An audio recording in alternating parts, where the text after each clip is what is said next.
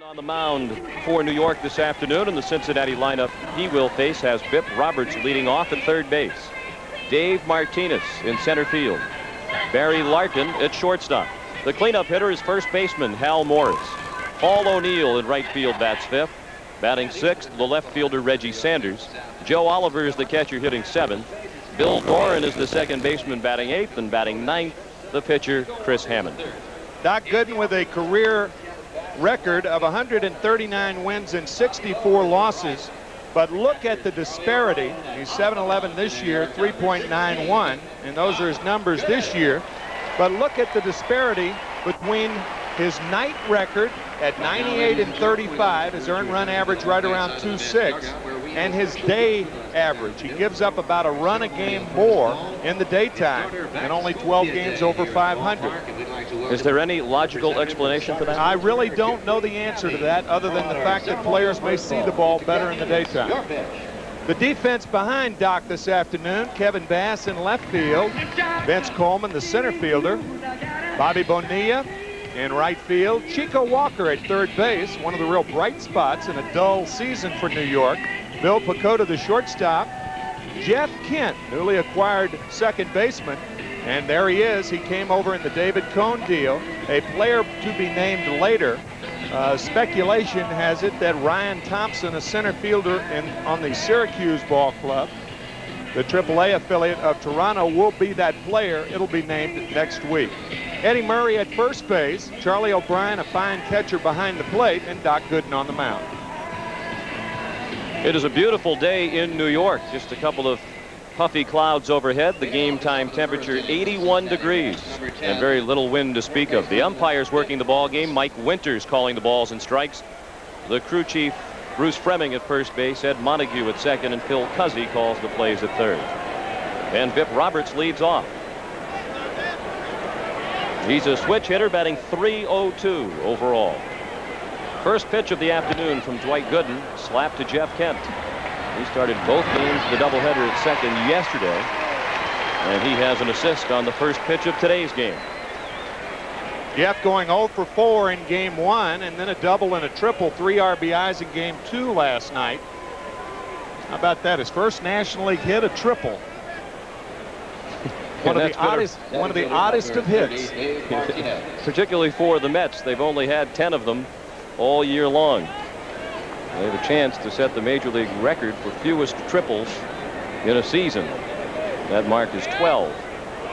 Dave Martinez at 254. He gets the start in center field today. A homer and 21 knocked in.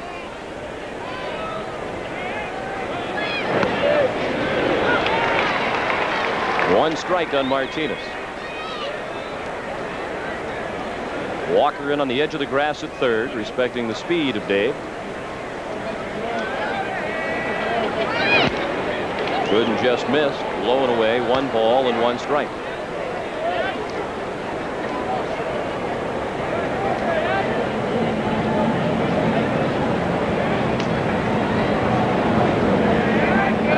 You'll see throughout the day a number of batting averages versus lefties and righties for the Cincinnati Reds, and they have a number of hitters with quite a disparity,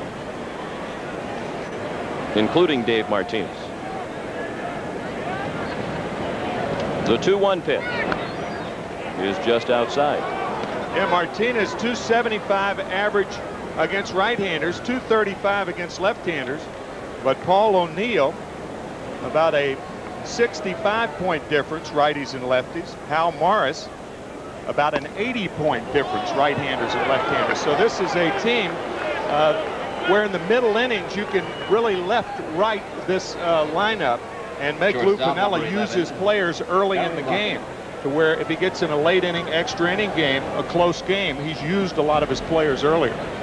Barry Larkin, the batter. Gooden was all around the plate to Dave Martinez, but walked him, and it appears that Mike Winters is going to have a narrow strike zone. Larkin, as you saw, at an even 300 with 10 homers. He has knocked in 59.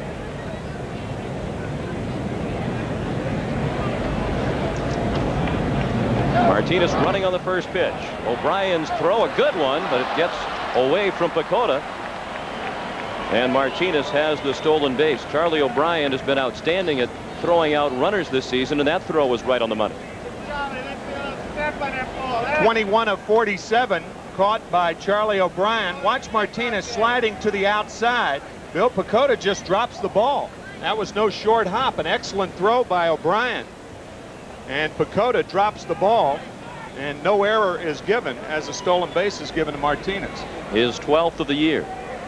The runner in scoring position with one out and the breaking ball missed. It's 2 and 0 on Larkin. Barry has had the upper hand in his individual rivalry with Dwight Gooden. There's the disparity of which we were speaking for Larkin. And against Gooden, Larkin is 11 for 26 in his career, a 423 average.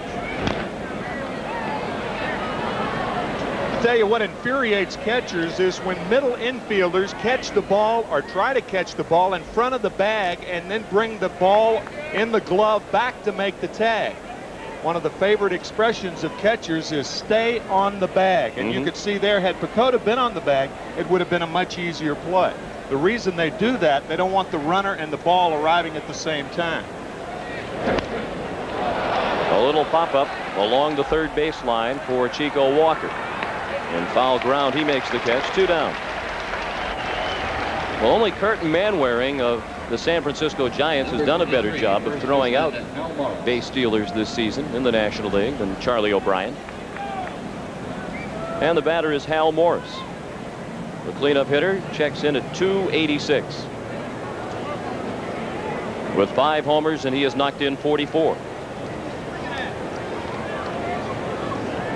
He's the best clutch hitter, or has proven to be this year for Cincinnati, a 341 average with runners in scoring position. That's sixth best in the National League. See, in the early innings, though, you don't think about pitching around hitters. And the reason is you really uh, amplify the uh, fact that the opposition can have big innings. You go right after guys in the early innings. Forget about first base being open for the most part. That one sailed high and away. It's 2 0 on Morris.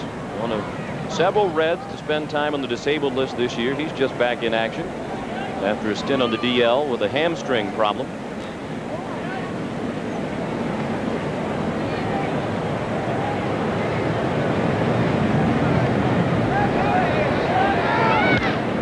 Well hit. Left center field toward the 396 mark. Coleman to the wall. Home run.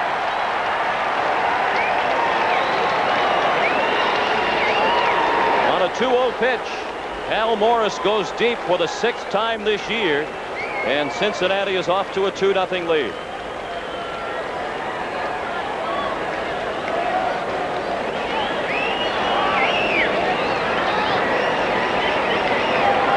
You ever come out to batting practice and see major league hitters hit, not a lot of velocity on the pitches. And when a pitcher runs a 2-0 or 3-1 count, 1-0-2-1 to a hitter, and that pitch is predictable, well, then major league hitters more often than not get the good part of the bat on the ball, and that's what Morris did then. He really crushed that ball. Mm -hmm.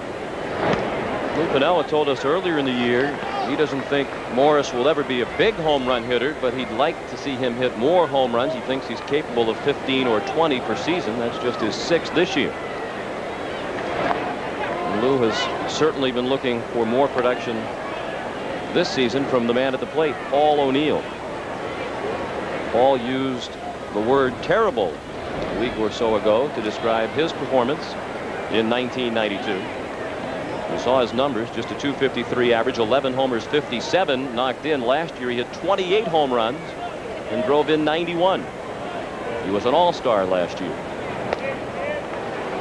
He's been bothered by injuries, including lately by a right wrist problem injured on July 29th. X-rays a couple of days ago revealed that he has some instability in some of the smaller bones in his right hand. With a 3-2 pitch. It's the second walk of the inning.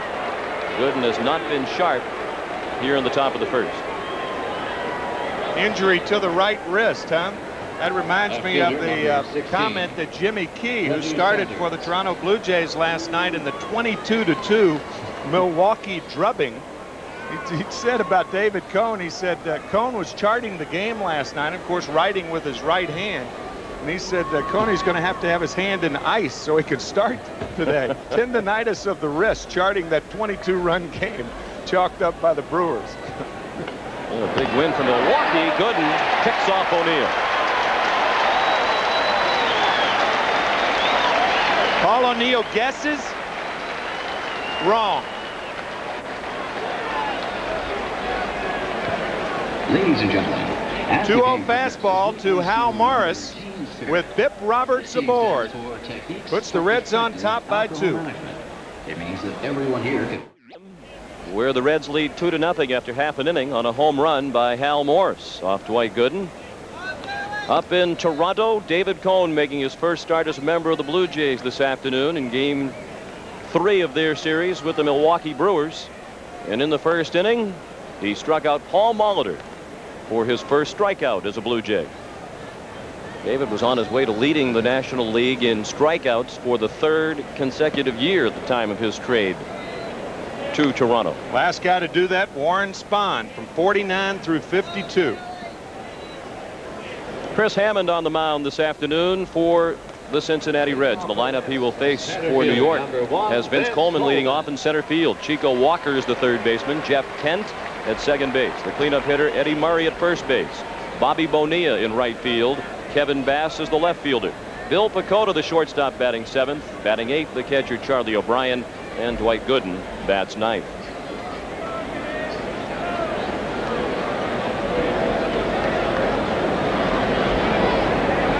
Working to Vince Coleman. He's working with a 2-0 lead and with a fractured nose.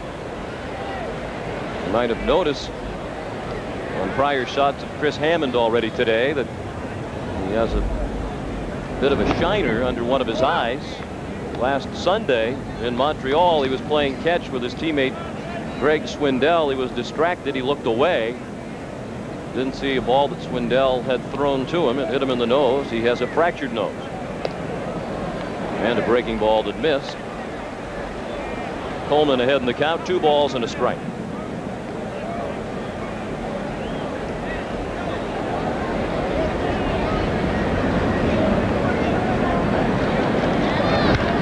Slap to the right side. Bill Doran knocked it down and threw him out.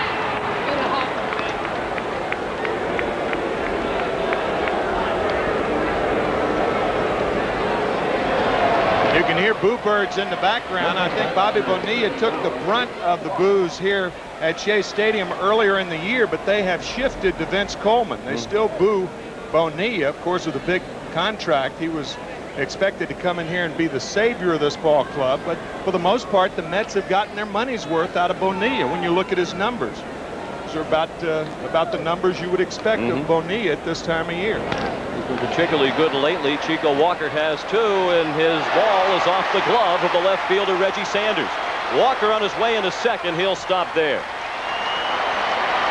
Sanders slipped down again as he retrieved the ball over in center field. Looked like he was going to make a nice running catch.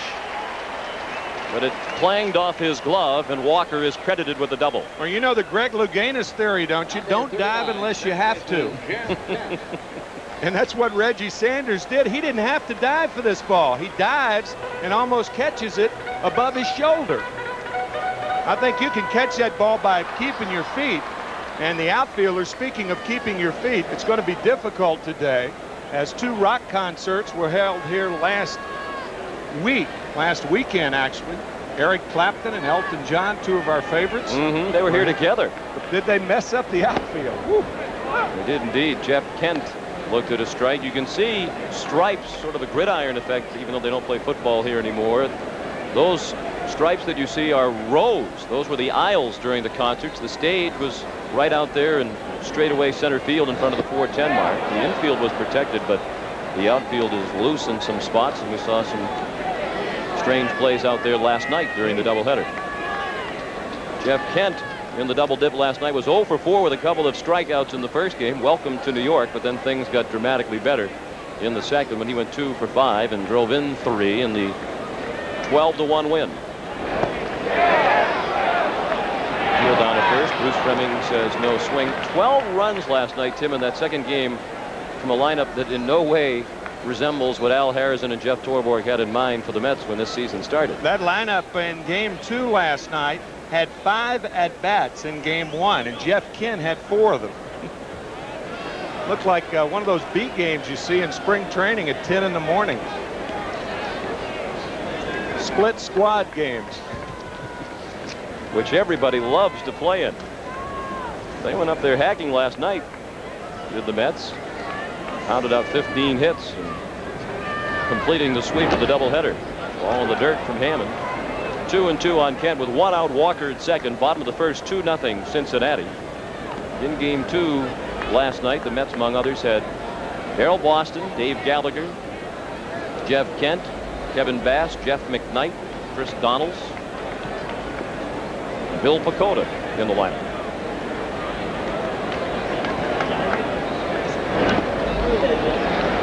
And lineups like that become more dangerous at this time of year for contending teams. You have nothing to lose. You might as well air it out. You're not fighting for anything except uh, the overused word of pride. Jeff you know, Torborg expected in late August to be A in contention, and certainly with a lineup that included Bonilla and Murray yeah, and Hojo, right. not the guys we mentioned. Off the end of the bat down to first to Hal Morris. Will beat Kent to the bag for the second out, and on the play, Chico Walker moved up to third. That's a very curious word, uh, pride. It's almost always used in baseball in a negative effect. You never hear teams who are contending saying we're playing for pride. It's always the teams that are out of it. They're playing for pride. What they play for before. Jeff Torborg's got to be thinking that right now. and a number of other things, oh, I'm boy. sure. Tough year for Jeff and, uh, and the Mets. Eddie Murray got off to a great start with the Mets.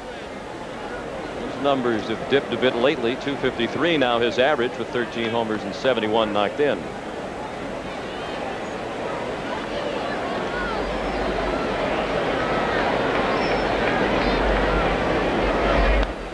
Straight back to the backstop. I think an indication of how the season has gone for the Mets. They acquired Jeff Kent in a much criticized trade here in New York. He was basically a utility infielder for the Toronto Blue Jays, backing up both Kelly Gruber and Roberto Alomar. But here he is in his third game for the Mets, batting third against a contending ball club. His playing time this year came primarily because of the injuries to Kelly Gruber. He played mostly at third base with the Blue Jays.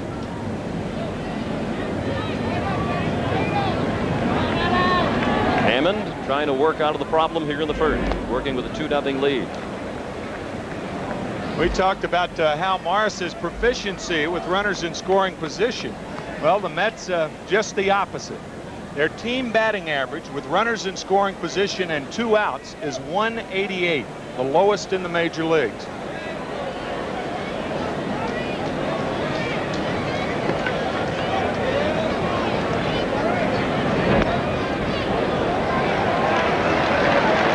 And since the Elias Sports Bureau started keeping track of runners in scoring position and two outs in 1975, the lowest average by a National League team in that situation, 190 by the Padres in 1989. The Mets have a great shot at that.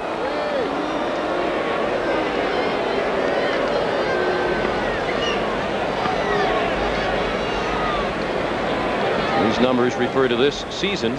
Not surprising that some of the worst teams in baseball this year are at the top of that list.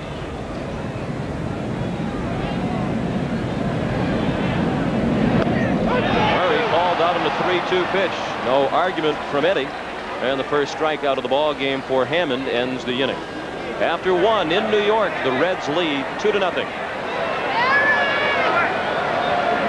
The Reds lead 2 to nothing after one inning on a first inning home run by Hal Morris with Dave Martinez aboard.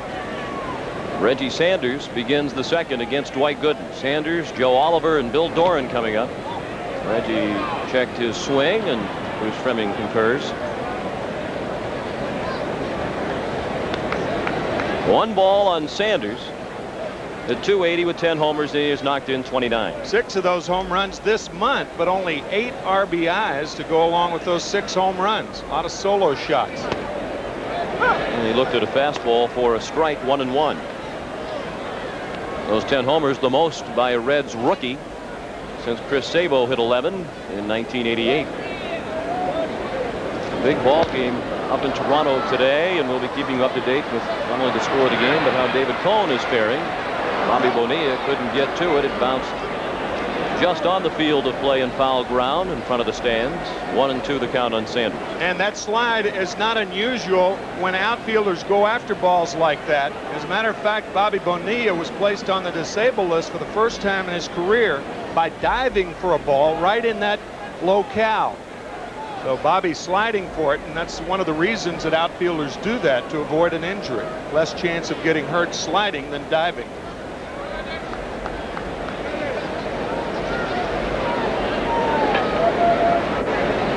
The one-two pitch. Backed him off the plate.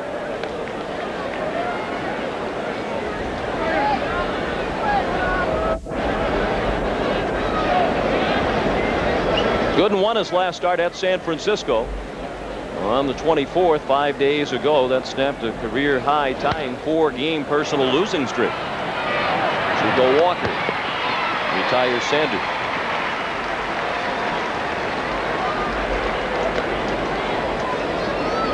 Every pitch is not designed to get a hitter out. The next to the last pitch that drove Sanders back away from the plate was designed to keep him away from the plate, and that's when Gooden came back with the curveball. Now Joe Oliver, one of the hottest hitters in baseball at the moment. He's matched his career high with a seven-game hitting streak. He's hit safely in 14 of his last 16 and he was the National League Player of the Week for August 10th through the 16th when he had 11 runs batted in in six games. He fouled one straight back and it's 0 2.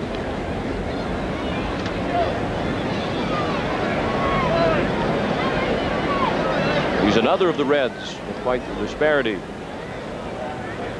facing left-handers as compared to right-handers.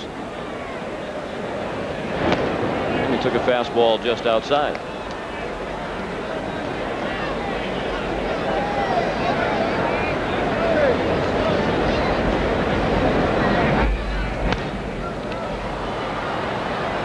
Here's what we were talking about with Reggie Sanders.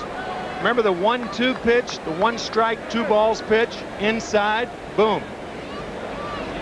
And now, with the count two and two, Gooden went to the curveball.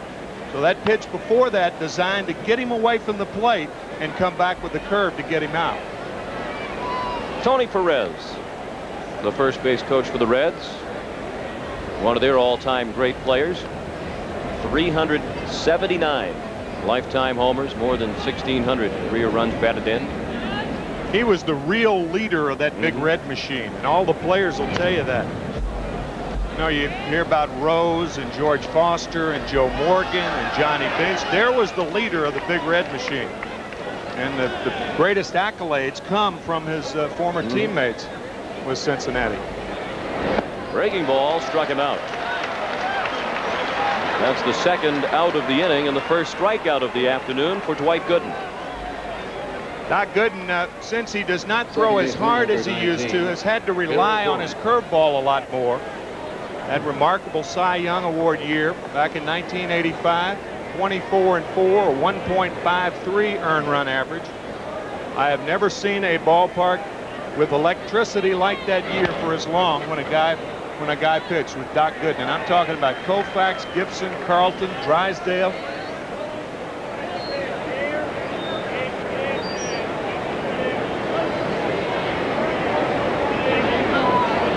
That is quite a statement, and you had a front row seat. Yeah. While those fellas that you mentioned were in their prime, played with and against some of the great pitchers of that time. There's a base hit for Bill Doran through the left side. Second hit for Cincinnati. They have a two-out base runner in the second. The Reds lead two to nothing. Tim, do you think it's fair to say that this is an important game for the Reds? They came to New York mm -hmm. with some momentum. They had closed the gap to three and a half from seven games in less than a week, but they lost two to the struggling Mets last night. Yeah, every day is a day of rationalizing for contenders uh, the last month of the season. The rationalization being that they lost a doubleheader and only lost a half a game because mm-hmm. Atlanta lost. You can look at it for, from a lot of uh, different ways, but here's a club that's struggling, the New York Mets, and you'd anticipate the Reds uh, putting up a battle. And they did in game one last night. They got blown out in game two, but uh, they did have a 3-1 lead mm -hmm. in game one, and the Mets came from behind. It was a very tough loss in game one last night. Chris Hammond, the pitcher, is at the plate with a one and one count. And now one and two. He's six for 36 this season. But the other way to look at it, probably the way Lou Piniella looked at it after the game last night was we had a great chance to only be two games out of first yeah, place had right. we swept the two games instead of dropping both. Curveball pulled foul. Ball girls fielding flawlessly in this series.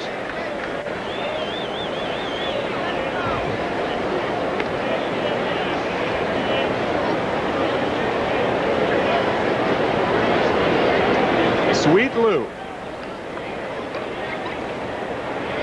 Thought it was uh,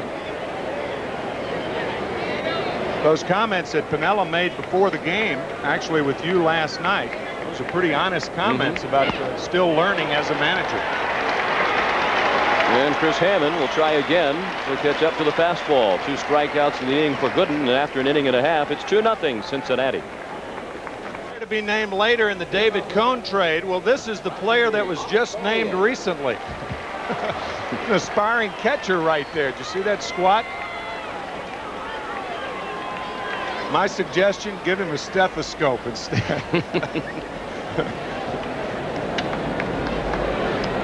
Catching takes its toll.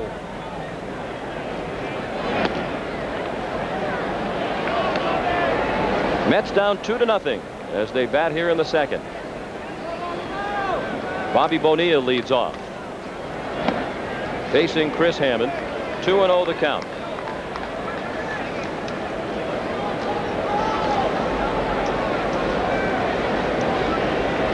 Lou Piniella said yesterday when Hammond has his control, generally he is effective. That's off the glove of the third baseman Robertson into foul territory. Bonilla on his way to second. He'll get there standing. It's a double for Bobby Bonilla. And for the second time in as many innings, the Mets have a runner at second with less than two outs. Unless it's a late inning game and a close game, most of your corner infielders, your first and third baseman, play toward the fatter part of the field because that's where most of the hits are. This ball, however, off the glove of the diving Roberts down in the left field corner, and Bonilla has a double, his 22nd of the year. Kevin Bass, the batter hitting 258 overall. He hit his first home run as a member of the New York Mets last night. He's hit only 204 for the Mets in 17 games with New York.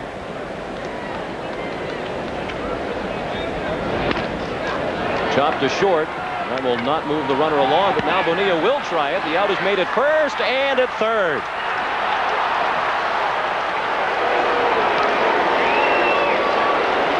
I'll tell you what, that is not a bad play. The execution was what was bad about it. With nobody out, you try to get to third, but Bonilla hesitates. He's looking behind him.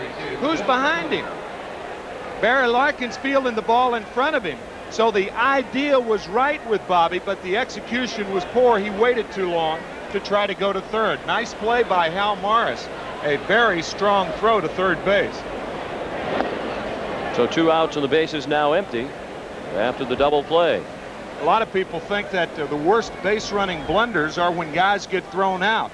The worst base running blunders are when guys don't try to take the extra base.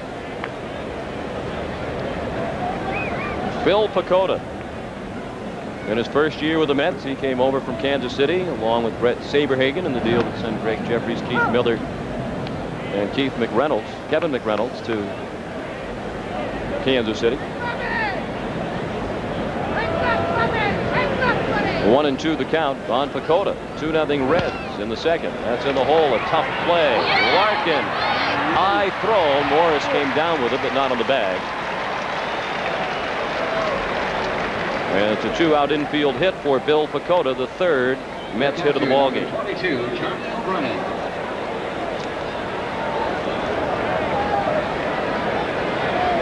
What an athlete Barry Larkin is.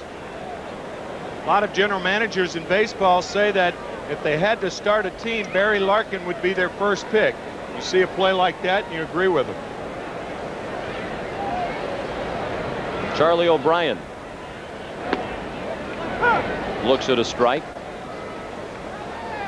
We mentioned that O'Brien is second in the league in throwing out base stealers behind only Kirt Manwaring of San Francisco, but he has not hit this year, nor really has he ever hit in his career. And interesting watching the Mets lately that he has seen the bulk of the playing time behind the plate while young Todd Hundley hasn't played very much. You'd think the Mets would take advantage of their situation in the standings to get a better read on what Hundley might be able to do at the major league level. No question about it in my mind. I think one of the major mistakes the Mets have made this year uh, when you're having a bad year and you don't develop a young player in the process, then that's a mistake. No knock on Charlie O'Brien, but Charlie O'Brien is a backup catcher. And nothing's wrong with Hundley. But the Mets, uh, they don't know more anymore about Todd Hundley now than they did last year at this time. Todd Hundley, only 23 years old, I think is going to be a fine major league catcher, but his confidence is way down right now. Uh, his batting average is down, but when a young catcher comes into the league, you don't look at his batting average anyway. That's right. You look at his defense, number one, the way he handles the pitchers, number two, and then the hitting. No knock on Charlie O'Brien, but no, he is no, a backup catcher because right. he doesn't get many knocks, and that was just his 23rd hit of the year. He broke an 0 for 28 slump last night with a home run. He came out in a big way. Home run and a double in game two. There's Charlie. But I think Todd Hundley is going to be a fine catcher one day, but uh, his confidence has been severely shaken, especially over the last month.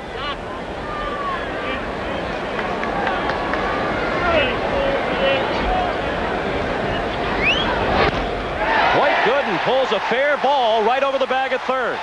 Pecota being waved around and he will score. O'Brien to third. And the leading hitter among pitchers in the National League, Dwight Gooden, strikes again. That is his seventh RBI of 1992. And he came into the game hitting 288, 15 points better than the second best hitting pitcher in the league, Omar Olivares of St. Louis. Doc's banking this ball down the third base line just over the bag. Called properly by Phil Cuzzi, the third base umpire. Doc Gooden, not only the leading hitter among pitchers, he might very well be the leading hitter on the Mets before this season's over. Look at that. He's second right now to Chico Walker. Dave Magadan out for the year. Vince Coleman could catch Doc. Sounds funny saying, but, you know, Doc takes so much pride in his hitting. He says that uh, if I were a hitter, I'd probably be playing at the double A level right now. Hmm. He might be right. Yeah? He is an outstanding hitter, though. Swings the bat very well. With The lack of hitting this year in Major League Baseball, I think he might be at a level higher than that. yeah, right. He'd be somebody's DH in the other league. Vince Coleman looked at a ball outside. So four hits in the inning. And that double play looms large now. Five hits in all surrendered by Hammond, three of them doubles. And he has fallen behind Vince Coleman, 2 0. Coleman was out on a ground ball to second his first time up. The Reds lead 2 to 1 in the bottom of the second. Line to hit. That will at least tie the game. O'Brien has scored. Gooden coming to the plate. The throw from Martinez. Safe. The throw was offline. Oliver fielded it and went lunging after Gooden, but couldn't get him before Gooden went sliding across the plate. So a two-out uprising for the Mets. Three runs across here in the second, and they have taken a three-to-two lead. Joe Oliver did everything that he could. Watch him when he takes the throw. It's offline. and he catches it and dives back to try to get Gooden, but the spike's already touched the plate. Here it is again. Fine slide to the inside by Gooden as Martinez's throw is offline. It's a single for Coleman. He took second on the throw. Six hits now for New York. Five of them here in the second. And four hits in a row with two outs. Gooden drove in the first run. Coleman the other two. Vince has now knocked in 18 runs this year. One and one the count on Chico Walker, who doubled off the glove of Reggie Sanders in left field last inning.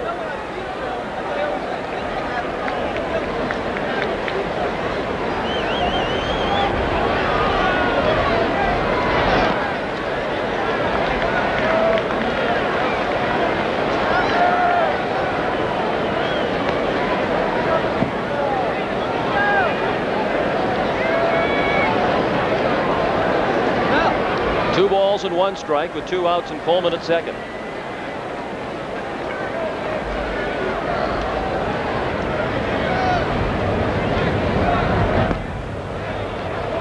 And this roller coaster ride continues for Chris Hammond. He started the season winning five of his first seven decisions, then lost six of his next seven before defeating the Phillies in his last outing on Monday.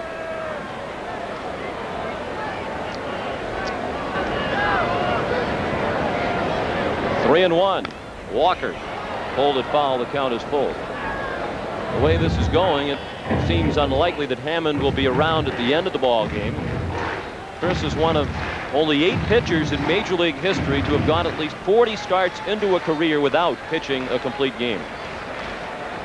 Yeah, ex-teammate Scott Scudder holds the record. He had 61 starts without a complete game, now toiling for the Cleveland Indians. And that streak is still intact. A little pop-up could be a problem. Doran couldn't get it. Coleman in to score. It's four to two. That was a ball that could have been handled in shallow right, but wasn't by Bill Doran.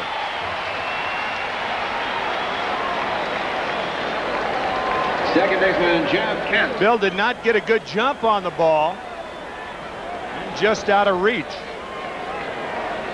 course, Bill Doran has aged considerably since coming to Cincinnati, his hometown. Fine player for the Astros for so many years. Various leg ailments this year. He has slowed down a lot. Looked like he had trouble picking that ball up as uh -huh. he uh-huh. started after it. Common problem here at Shea and other major league parks because of all the white shirts during summertime. You rarely see balls uh, lost like that when the weather is cooler fewer white shirts.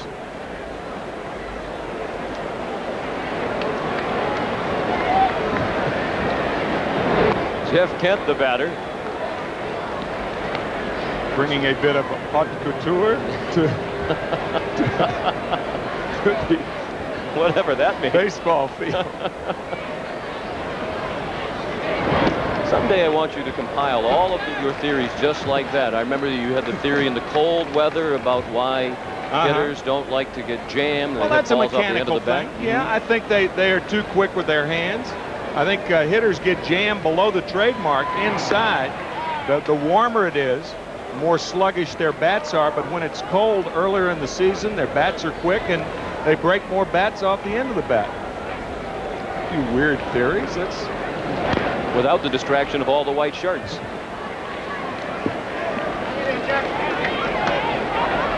Mike Cubbage is the third base coach for the Mets. And through the signs while on the move. Jeff Kent, the batter, two and two the count, two outs. Four runs in this inning on six hits. All the damage done with two outs. That pitch is off the mid of Joe Oliver. That should have been handled. Well, for a team in contention, the Reds have really played three lousy games to this point in this series against the Mets. Except for the first game last mm -hmm. night. I mean, they played well, but uh, often you lose games after that when you have a chance to win because you've lost the first game. Last night they had the two-run lead. The Mets came back. They won it on a They tied it on a pinch home run by Boston. They went ahead and won it four to three. And the Reds blown out in game two and look bad here today. And the long inning finally ends for Chris Hammond with a strikeout of Jeff Kent. Four runs in the inning for the Mets, and after two, they lead four to two. The Mets lead 4 to 2 after two innings here at Shea Stadium, and as promised, we're keeping an eye on the proceedings in Toronto, where David Cone is making his Blue Jay debut this afternoon. This is action from the fourth inning, and Paul Molitor with a base hit through the middle. It drove in Darryl Hamilton, and the Brewers have a 1-0 lead in that ball game in the fourth.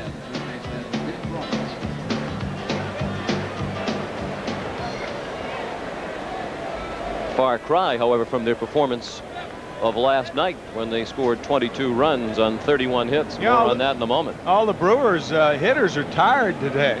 That's right. it takes a lot of energy to have 31 hits in one ball game, 22 runs. Their arms are sore from swinging, the legs tired from running around the bases. An American League record for a nine inning game, 31 hits. A Milwaukee Brewer club record, 22 runs. A lot of the individuals fattened their stats, including Scott Fletcher and Darryl Hamilton, who each drove in five runs.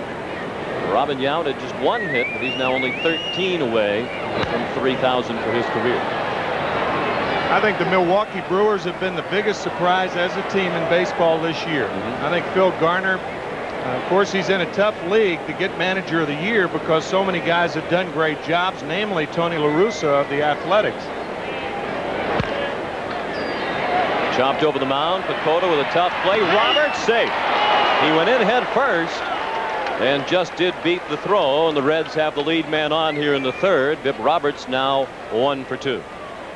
When a guy like Roberts hitting from the left side chops a ball down and it takes three bounces to get to the shortstop, there's almost no way to get him. Martinez. See him sliding by your picture at home right there. It was a great shot. There it is.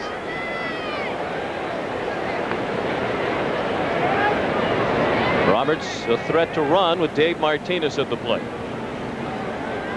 Martinez himself a threat to run walked stole second and scored the first run of the ball game in the first.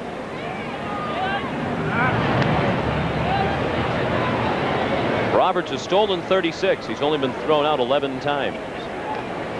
He's tied with Ray Lankford of St. Louis for fourth in the National League in stolen bases. Marquis Grissom running away with the stolen base crown. The senior circuit with 65 steals. Sometimes the threat of the stolen base is more disconcerting to a pitcher than the stolen base itself.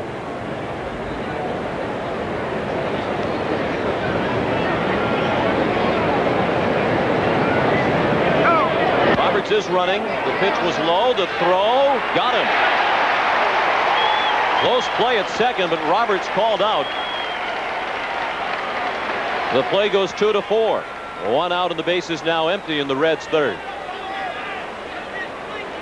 A lot of people talk about the strong arms of catchers, but watch the footwork of Charlie O'Brien. Watch how quick the feet are on this release.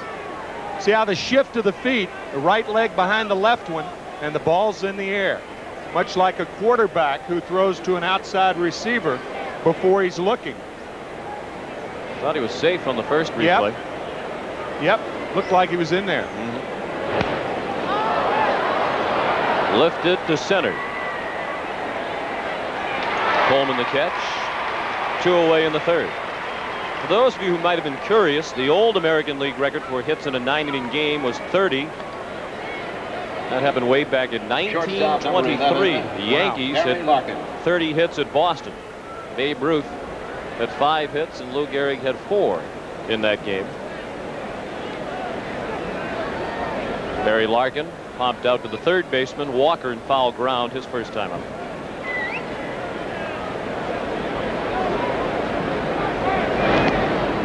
Major league record for hits in a nine inning game is 36 by the Philadelphia Phillies.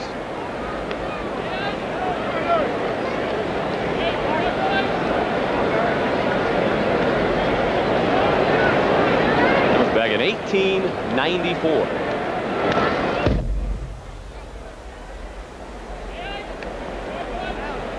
A ball and a strike on Larkin. Was that during the period where you could ask for the ball either high or low? I don't know. Guys used to throw it underhand. That, that was baseball was a very strange game in those days. Mm-hmm. Still is in many ways. oh yes. Oh, yeah. Including last night when you lost your scorecard. Correct. Out of the broadcast booth while working on the Mets local telecast, and it did not come back. No, it didn't. I lost my pen too. For insurance purposes, I said it was a cross pin. I was going to say, I noticed today, uh, in case uh, you're filing for this one as well, it's a very chintzy pen today. That is correct. I'm sure the hotel won't miss it. Larkin into right center, a base hit. That's going to roll all the way to the wall. And Larkin has third base on his mind. He's there standing with a two-out triple. Barry Larkin wears Doc Gooden out, and he takes this fastball actually on the inside part of the plate and drills it to right field. Triple number four for Barry Larkin. And there is Barry Larkin against Doc Gooden for his career. He is now 12 for 28. One for two today.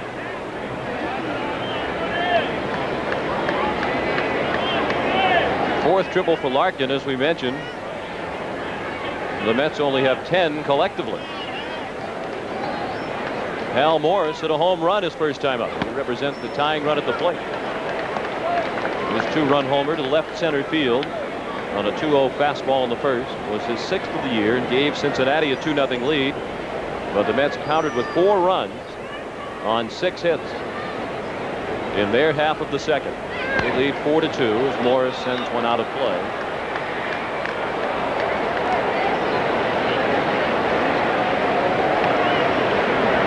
Morris in the hole 0 and 2.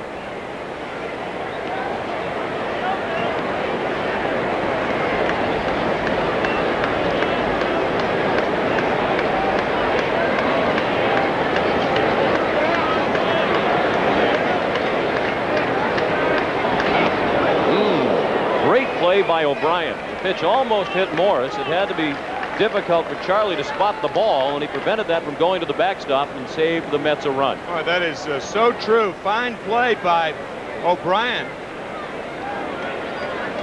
He was blocked out of that pitch by the right leg of Hal Morris. That made the play that much tougher. Out of play and left again. You could tell in the previous pitch from the body language of Dwight Gooden that he thought that one was going to the backstop. He started in off the mound thinking he had uncorked a wild pitch. Now he loves to pitch to Charlie O'Brien. Charlie with a great set of hands, soft, cushiony hands, and he has caught 19 of 23 starts for Gooden this year.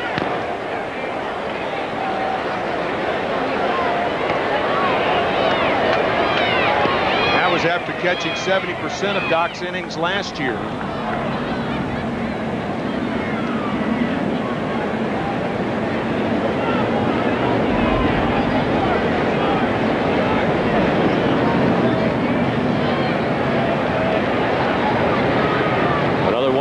Pitch. That's well hit toward the gap in right center. And in for a hit. Bonilla able to snare it. The run scores, and it's four to three. So just as the Mets put something together with two outs in the bottom of the second, the Reds come up with a run with two outs here in the third. A triple by Larkin, and he is singled in by Hal Morris, who has knocked in all three Cincinnati runs. Fine hitting by Morris, but poor base running. He should try to be on second base. A one-run ball game. There are two outs, and you see Bonilla make a fine play. Now look at all he has to do before he can throw the ball to second base. Very tentative base running by Morris, but uh, very fine hitting. Perhaps the hamstring is still a bit sore. That's really the only reason yeah. you could think yeah, of why right. he wouldn't be at least trying to get the 2nd mm -hmm. Paul O'Neill walked his first time up.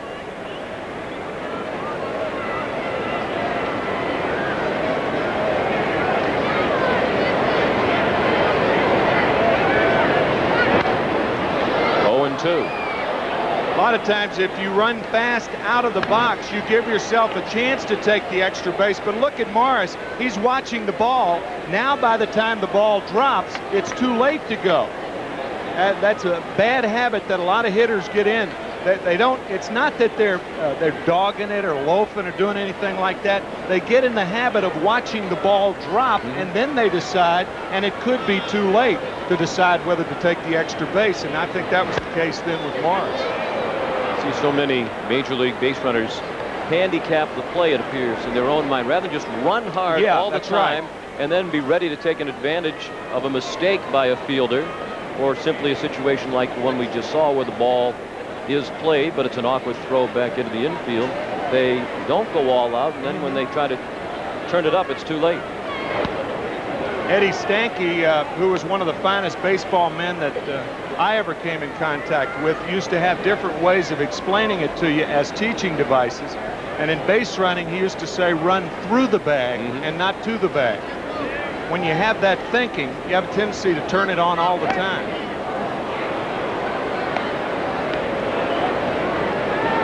It's still one to nothing in favor of Milwaukee on the RBI single by Paul Molitor that scored Darryl Hamilton. And David Cone now through four innings has allowed the one run on three hits while striking out three.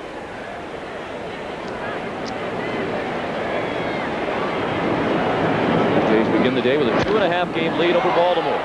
O'Neill to deep left. Bass on the run to the warning track, and he made the running catch. Nice play by Kevin Bass to take an extra base hit away from Paul O'Neill. The Reds get one off Dwight Gooden.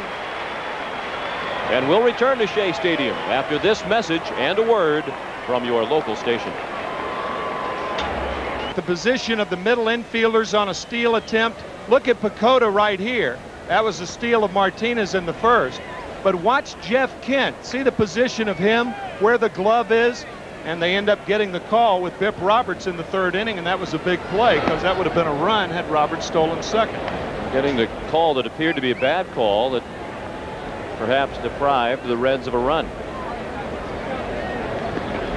It's a one-run game. The Mets batting with a 4-3 lead against Chris Hammond in the third. Eddie Murray was called out on strikes his first time up.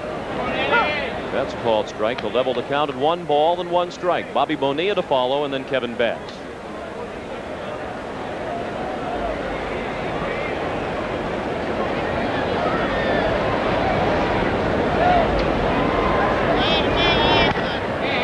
down the line. Long throw for Roberts. High throw. Morris able to come down with it. One out.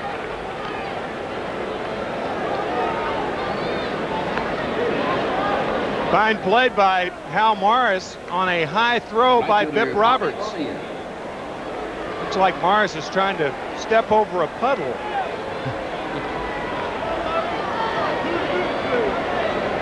Last night it would have been quite appropriate. Yes second game of last night's doubleheader delayed 38 minutes by rain.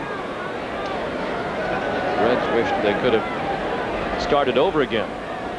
Bobby Bonilla, the batter. Double his first time up.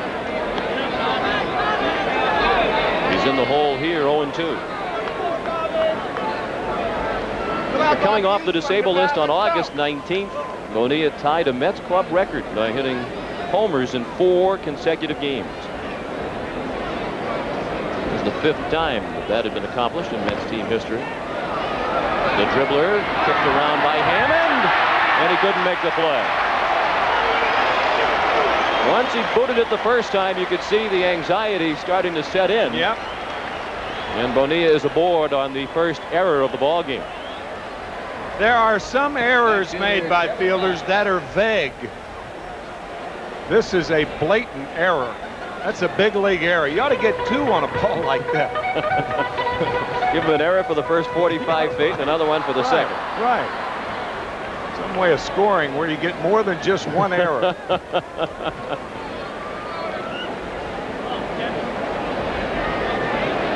Kevin Bass bounced into that 6-3-5 double play his first time up and fouled that one off his foot.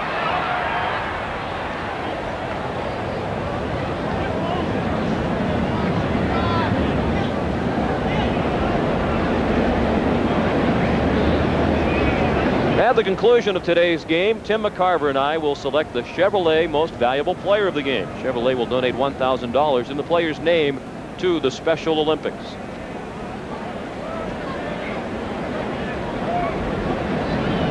The Mets lead 4 to 3. They're batting in the third with one out and Bobby Bonilla aboard at first. The count is 0 1 on Kevin Bass.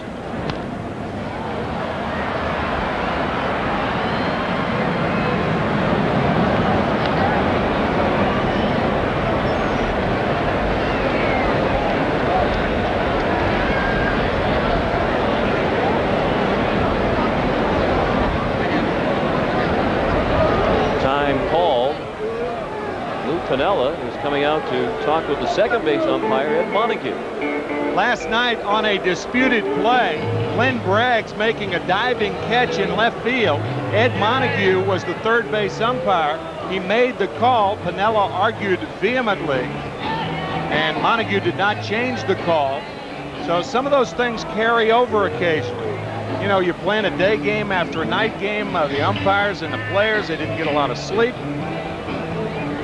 But boy, I would think if I'm Ed Montague and he's out to argue about something that happened last night, I'd have to well, run him rather quickly. I think it's a carryover that Montague uh, may have, uh, Lou may be more a little more sensitive mm -hmm. because of what happened last night, and Eddie uh, might feel the same way. Yes. Lou seemed to be gesturing out toward the outfield. And they're not chanting Lou. They are booing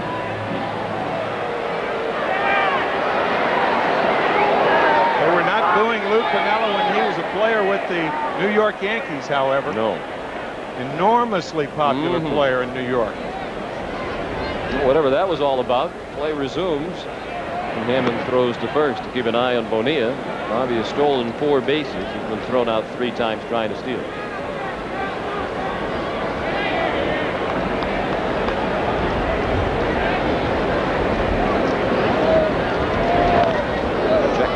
foul ball past Bill Pecota in the on-deck circle. It's been a dangerous at-bat for Kevin Bass. He fouls one off his foot and then almost uh, ducked into a fastball that was tailing in on the hands or sailing in on the hands.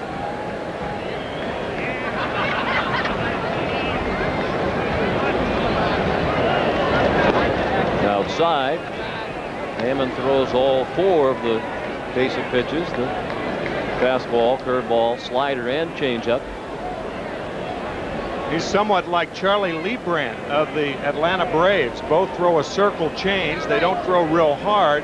They rely on control for effectiveness. And as we mentioned, Lou Piniella said yesterday, ordinarily when Hammond has his control, he fares very well. Today, he hasn't walked a batter. But he's on the short end of a 4-3 score in the third. Yeah, there are other ways of being wild. Sometimes you can be wild in the center of the plate, wild in the strike zone. Back to the mound. Great play by Hammond and the double play. That's the same guy who couldn't field the ground ball a moment ago. the double play ends the inning. Anything in the air, he's deadly. After three, it's 4-2, 4-3, New York. Hey, that's fans. It's time right now for the... Summary is sponsored by Budweiser. The Reds grabbed the lead in the top of the first on a two-run homer by Hal Morris. Then the Mets came up with four runs with two outs on six hits to take a 4-2 lead. Morris singled in Larkin who had tripled to cut the margin back to 4-3. And that's where we stand as we go to the fourth. Dwight Gooden facing Reggie Sanders and one strike the count. Another good crowd here at Shea Stadium today. Check that lid.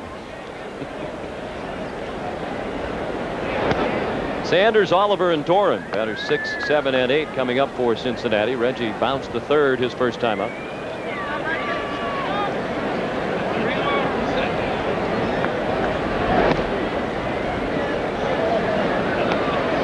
Has not been smooth sailing for Dwight Gooden to this point.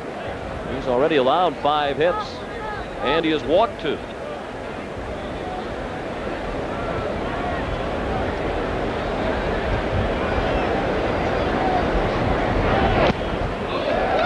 attempt into the middle of O'Brien. Two balls and two strikes on Sanders.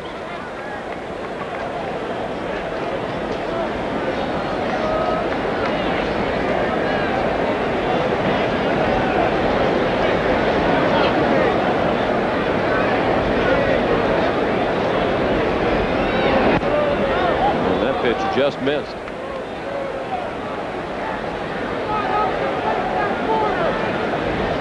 Gooden has thrown 66 pitches already. He's facing his first hitter here in the fourth inning.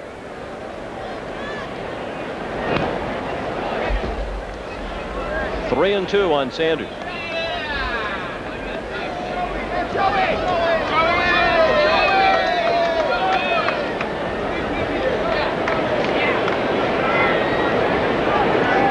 Gooden has had more trouble against Cincinnati than he has had against any National League opponent. He had no problem there with Reggie Sanders. The strikeout is the first out of the inning and the third strikeout of the ball game for Gooden. Coming up after baseball today on CBS, it's live third round coverage of the NEC World Series of Golf from the Firestone Country Club in Akron, Ohio. That's following today's game here on CBS. Craig Stadler with a one-shot lead over Chip Beck through two rounds. Fred Couples lurking just three shots off the pace. Joe Oliver a foul ball for strike one. He struck out swinging his first time up.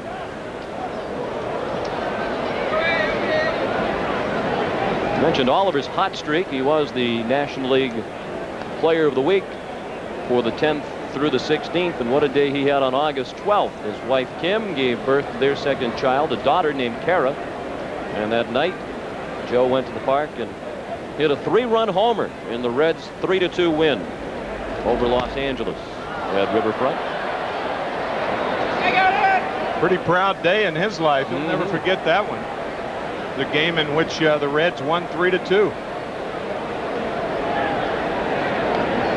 Joe says he's as confident as he has ever been at the plate right now. The ball looks like a basketball. He's made some changes. You see that front foot pointing back toward his back foot. He's trying to go more to the opposite field at the urging of manager Lou Piniella. It's pointing back because it keeps him back. When you see a, a hitter do that, it prevents him from lunging. It's kind of tough to lunge with your foot in that position. But that's why uh, why hitters do that. One of the key things in hitting is to stay back and to have quick hands. Those are two of the biggest keys in hitting effectively. The 2-2 pitch. Joe said for a while he didn't realize that there was a right field in baseball. Most of his career, in fact, had left field only on his mind.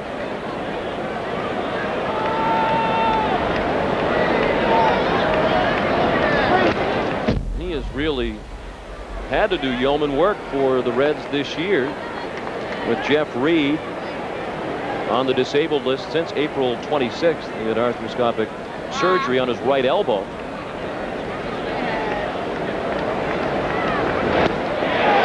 Oliver strikes out. Joe has had to start 108 of the Reds' first 128 games, including today. Only two catchers have caught more games. Darren Daulton of the Phillies, Tom Pagnozzi of the Cardinals. And there's that unusual style only because it looks unusual. If it works, it's not unusual. And mm-hmm. it's been working a lot for Joe lately. Not today. Struck out twice.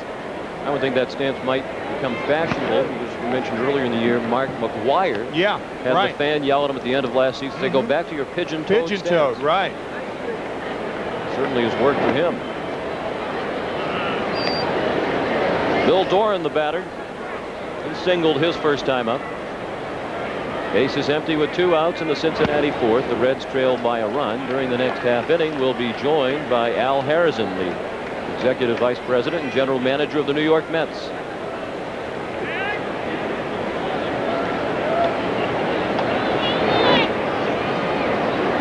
Three and one now on Doran.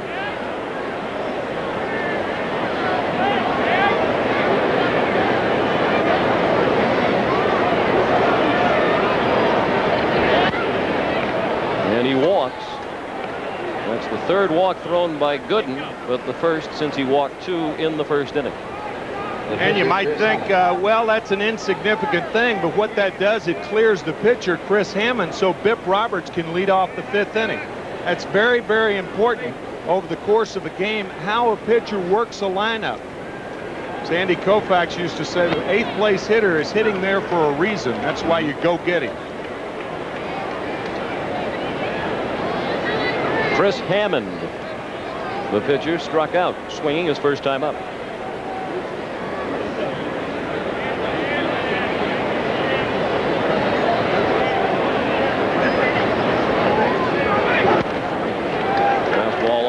Corner. Hammond in the hole, no balls and two strikes.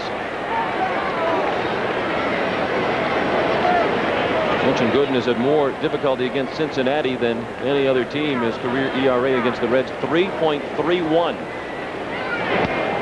That's pretty good when that's the toughest time Yeah. you've had against anybody. 3.31. The Reds have hit 276 against Dwight in his career against them. No other team has even hit 250 against Gooden. Hammond strikes out, and he struck out the side. Which presents Major League Baseball. Today's game is brought to you by Oldsmobile, the power of intelligent engineering. Pinnacle by Score, serious cards for a serious game. And by Coast, deodorant soap. With Tim McCarver and Mets general manager Al Harazin, happy to have you with us as we head to the fifth inning, talking with Al about a number of subjects, most notably the trade of David Cone on Thursday to the Toronto Blue Jays in exchange for Jeff Kent and a minor league player to be named later. And Al, we talked about the, that the other player cannot be named, and you explained the reasons why. The batter, as we go to the fifth inning, is Bip Roberts, at the top of the order. Does this signal a bit of a rebuilding process, which has been a popular word here in New York the last couple of days? Well, I know I've been asked that question a number of times. Uh, I think you have to look at our roster, and when you look at our roster, you see that we have 25 players, or eight players on our 25-man roster who will make $25 million next year. And I would suggest to you that rebuilding does not apply to an organization that's that committed to that many people. Uh, I have preferred to use the word reshape.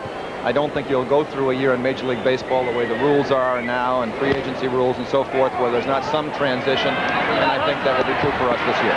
Nice play by the newly acquired Jeff Kent to throw out Bip Roberts for the first out of the fifth. Roberts now one for three. Expansion this year is certainly going to be different than in years past. Back in 1976, the first year of, sprint, of free agency, Center fielder Dave 1962, it was a much more simple process. Um, why, if that's true, why is this year different? And would it make sense to leave a player with a big salary off the, the original 15-man expansion roster, a guy like Bobby Bonilla?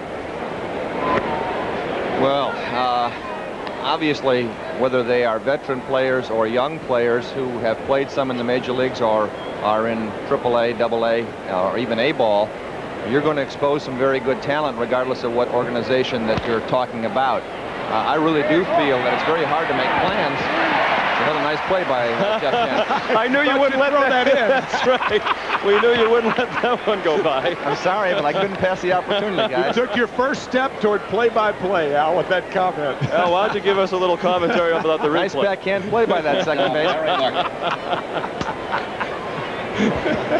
anyway, um, uh, it, it's very difficult to make your plans for next year uh, pre-November 17 because you just don't know who you're going to have on your own ball club, let alone who you're going to have uh, with other clubs. And uh, there will be players who will be exposed, I'm sure, uh, from, from a variety of clubs uh, who are people who have a lot of service and perhaps make a lot of money.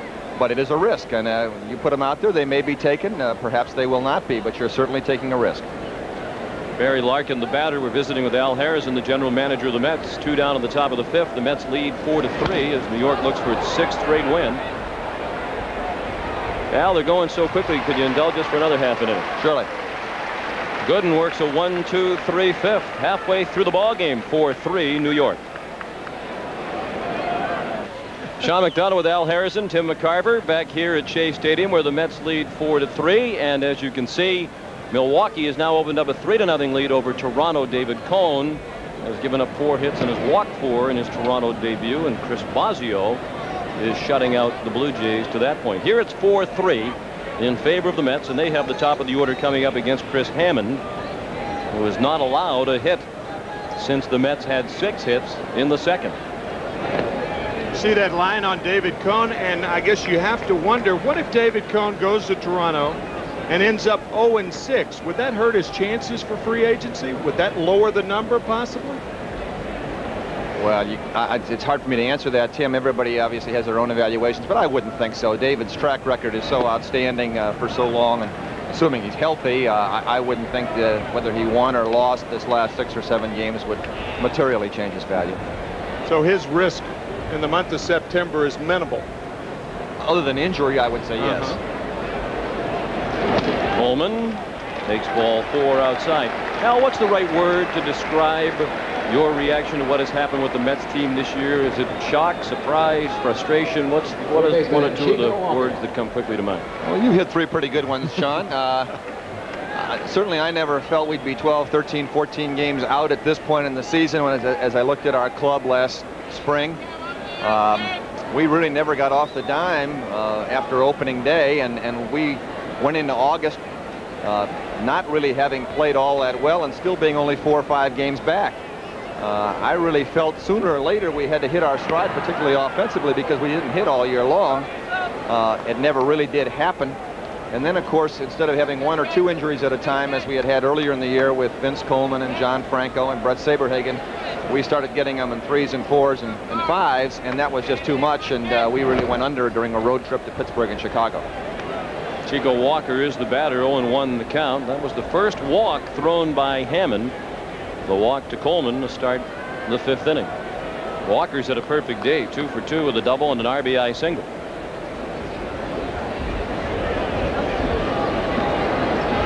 Mets try to build on a four to three lead in the fifth.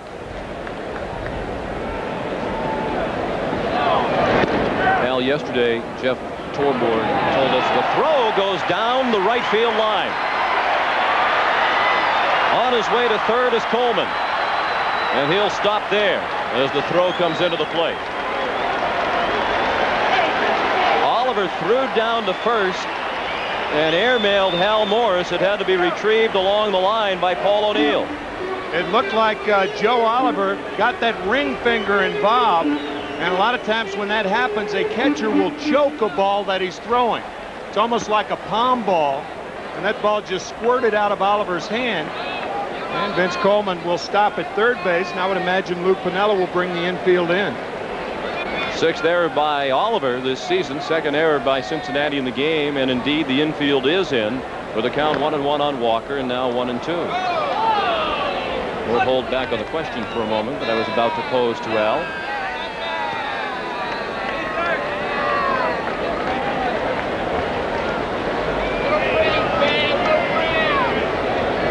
And Hammond will get a new ball with Walker at the plate and Jeff Kent on deck.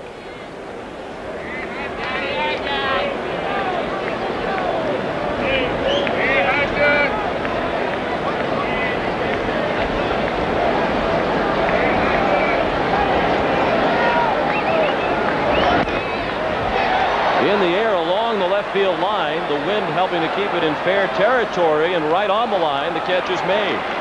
Coleman will score with ease.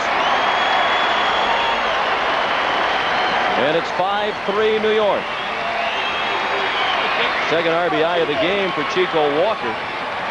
He continues to have a perfect day. He's now driven in 24 runs this season. And I'll ask the question now. Jeff Torborg told us yesterday, Al, he felt that based on the record and that the Mets have been disappointing, he could not say that he or his coaches had done a good job. He felt that based on the record, you'd have to say they've not done a good job. What would be your evaluation of Jeff and his coaching staff this year, and how much, if any, of the blame should they assume? Uh, I certainly can't be critical of Jeff and his coaching staff uh, for our complete failure to hit. We just haven't hit all year long, and uh, we've had plenty of established hitters on this club who haven't come close to their to their normal seasons. Uh, I don't want to single anybody out because I don't want to be particularly critical of any one individual, but to just cite one example, Howard Johnson's been a terrific hitter for us and has gone from 38 home runs to seven. You just don't anticipate that sort of thing. And uh, injuries are a big factor as far as Howard is concerned in, in terms of that drop-off. Same thing with Bret Saberhagen. Here's an outstanding pitcher who we've never been able to get out on the mound all year long, and we really felt he was one of the keys to our season in our club. Um, I sort of feel the day Bret went down in Los Angeles uh, early in the season, I believe in May. May 15th. Uh, May 15th, and I was called out of the stands to come to the clubhouse uh, to hear that he had a sore finger. Uh, I never realized at the time it was as serious as it was, but that really became the key to a lot of things that happened to us later uh, because we really had counted on Bret to be uh, one of our big aces on the staff. What about the prospects of signing Bret Saberhagen? Well, I'd like to have Bret Saberhagen for a long time, but uh, it's a little premature to decide that now. I think the first thing we have to do is get him back in the mound and pitching. And, and uh, I'm sure that's what he wants to do too, and, and get him back in the mold of being one of the top pitchers in baseball. After that, I'd love to sign him and keep him here. Jeff Cameron, the fly ball to right, handled by Paul O'Neill. For those of you who did not see the papers this morning, particularly those of you who live outside of the New York area, Bret Saberhagen, after last night's game, commented that his situation next season will be similar to that of David Cone this season, and that if he thought the Mets were going into a rebuilding situation, he did not want to be around to be part of that. He might exercise his right to demand a trade. How much of a possibility do you think that is? First of all, I, I think people like uh, Bret and John Franco are good friends of David Cone, and they certainly were disappointed. I'm sure that he uh, was going to be with another ball club, and that's certainly understandable and a very human reaction. I think the second part of it is that you rarely see the kind of thing that was described in the newspaper today, somebody demanding a trade, because what you do when you do that is forfeit your right to be a free agent for the next five years.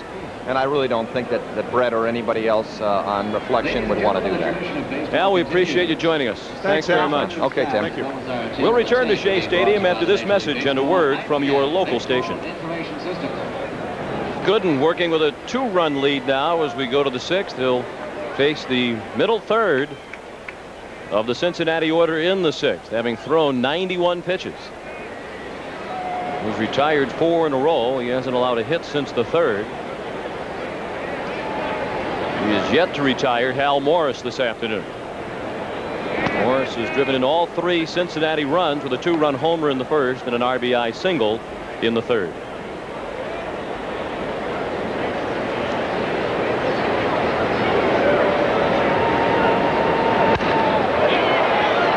On the run and left, Bass to the warning track. It's over his head. He played it nicely on a hop off the wall. The throw is not in time. I think Morris is still bothered by the hamstring. Watching him run again that time. It's a double, and he needs now only a triple for the cycle this afternoon. He's certainly not bothered by Doc Gooden. He is three for three. He is single, doubled, and homered. And uh, you mentioned earlier that Lou Piniella trying to get more punch out of the bat of Hal Morris. And when left-handed hitters can hit the ball effectively the other way, well, then that is a sign of power. I remember we were standing around the batting cage with Lou that afternoon trying to get and watching Lou trying to get Morris to turn the hips and use the lower part of his body. Mm-hmm. That was at Riverfront in Cincinnati about two months ago. He's done it today, I'll tell you. Indeed, he has. Paul O'Neill representing the tying run at the plate. One strike on O'Neill. Morris at second with nobody out in the sixth inning. That's the sixth hit for the Reds.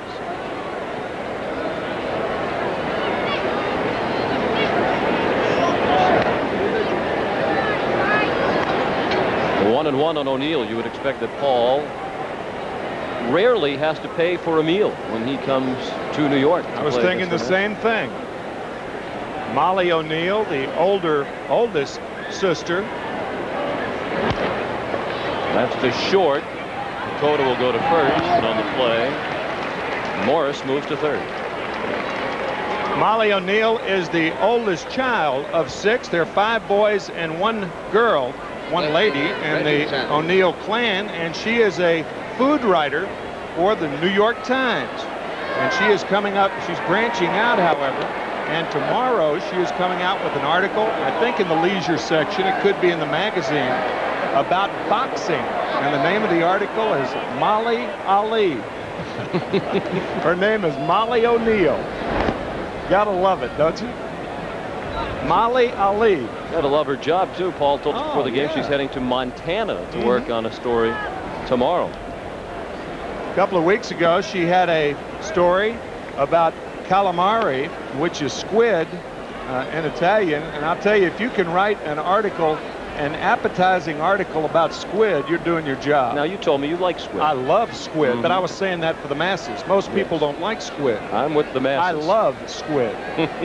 Why don't you like squid? I just don't. Too chewy? Yeah, it is very chewy.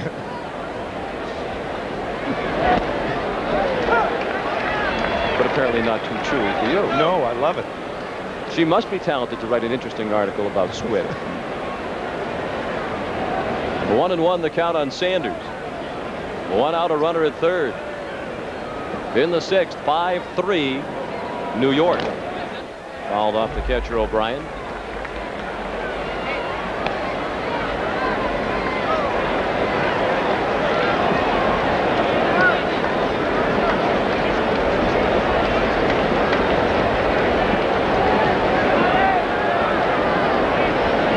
Sanders will be followed by Joe Oliver.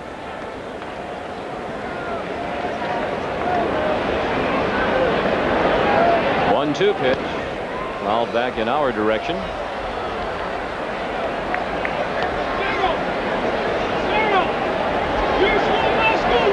Gooden says he is physically sound. He did spend some time on the disabled list. He was placed on the DL back on July 18th with inflammation of his right shoulder. He's making his fifth start since being activated from the DL. Sanders is making him work. Nice play below us as the ball came off the screen. Gooden has been giving St Sanders a steady diet of fastballs.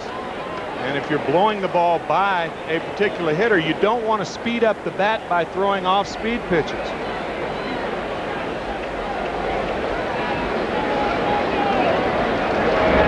Fastball on the corner. Got him.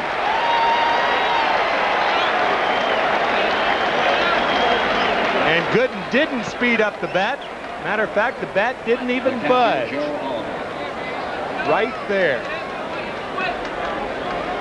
Six strikeouts now for Gooden. He has fanned Sanders twice, and Joe Oliver has also struck out twice this afternoon. Joe's 0 for 2.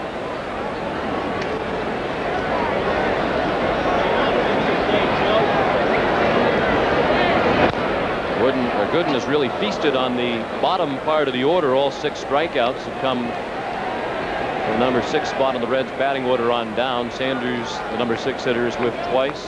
Oliver twice, and the pitcher Hammond twice.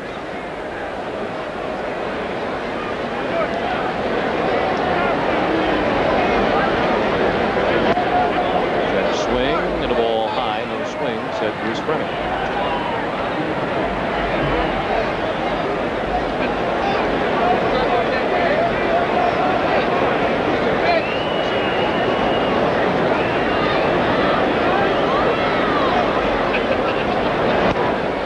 High again, two and one. The Atlanta Are at Philadelphia again tonight. Atlanta suddenly lost four in a row. They lost to the Phillies 7 to 3 last night as Terry Mulholland pitched his National League leading ninth complete game.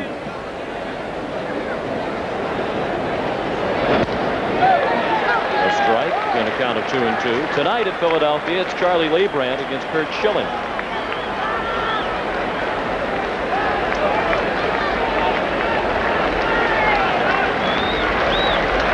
The Reds got a leadoff double from Morris. They're trying to avoid leaving him at third. Oliver with a high fly to deep right center. Coleman on the run to the warning track. It's off the track and over the wall. A double and a run for Cincinnati. Morris scores from third and Oliver continues hot. Gooden trying to punch him out for the third time in as many at bats. Second baseman. But Oliver wouldn't let him do it.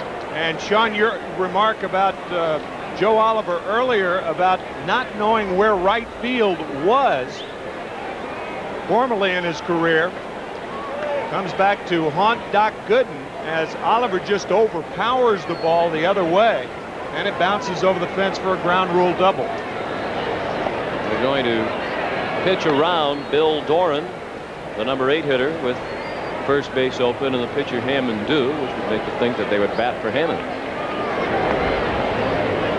The thing against doing this is you're putting the potential go-ahead run on base. The Mets with 23 intentional walks this year, that is not only the most in the majors, the average in the National League of the other 11 clubs, a little over seven. Hmm. Jeff Torborg has been criticized sometimes for walking number eight batters. A particular case was in Atlanta about a month ago when the Mets were last there.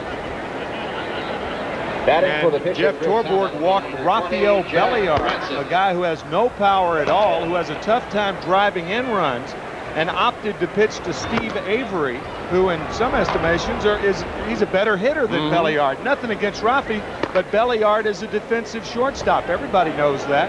And Avery is an excellent hitter. So that's the 23rd intentional walk of the year by the Mets. To a number eight hitter. Yeah, to a number eight hitter, right. Jeff Branson batting for the pitcher Hammond, and you saw Scott Ruskin warming up. He'll be the new pitcher when we go to the bottom of the sixth. Branson hitting 292 overall. He's been an excellent pinch hitter. 11 for 26 off the bench. And he's up with the tying run at second. The go-ahead run at first. One run in here in the sixth for Cincinnati. It's 5-4 New York, and Jeff Innis is throwing in the Mets bullpen.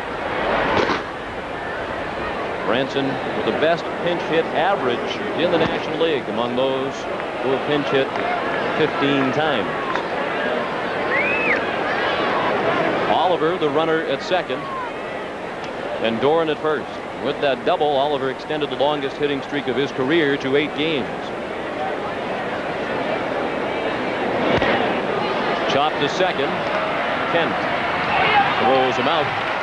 The Reds get one and Strand two. After five and a half, the Mets still lead 5-4. The score has narrowed at Toronto. The Brewers led 3 to nothing, but finally the Blue Jays got to Chris Bosio in the bottom of the sixth. Joe Carter up with a man aboard, and he rocketed his 28th home run of the year to cut the lead to 3 to 2.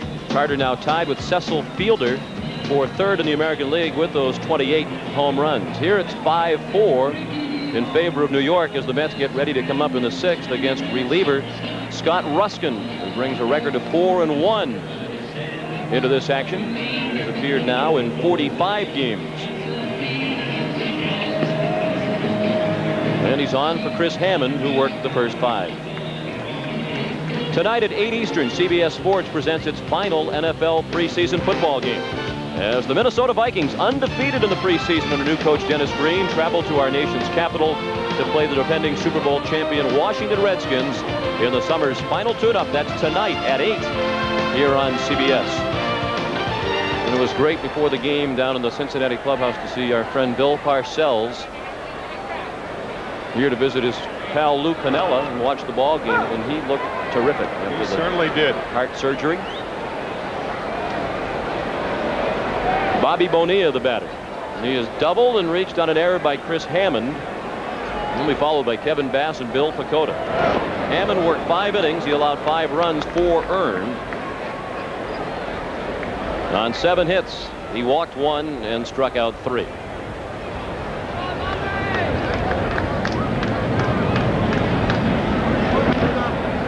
Chopped foul down to Mike Cubbage. Making a friend. And a nice catch by that young fan in the blue hat.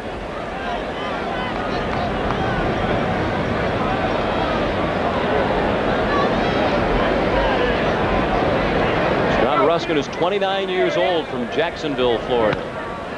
Plus a good breaking ball, and that curveball was lifted to right into the glove of Paul O'Neill. One down in the sixth.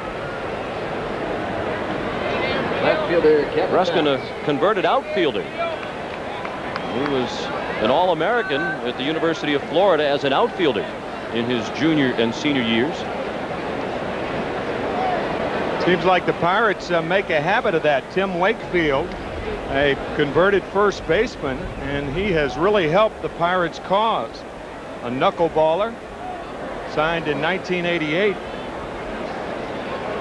And he has helped keep Pittsburgh atop the National League East. He certainly has. Ruskin started out in the Pirates organization and his first three years in professional baseball were as an outfielder 86 87 and 88 he advanced as far as double A ball as an outfielder was converted pitching. In 1989, Jim Leyland remarked in spring training a couple of years ago, when you see a left-hander who can throw hard and has a good curveball, and he's mm -hmm. not hitting particularly well in the minors, you make him a pitcher. Yep.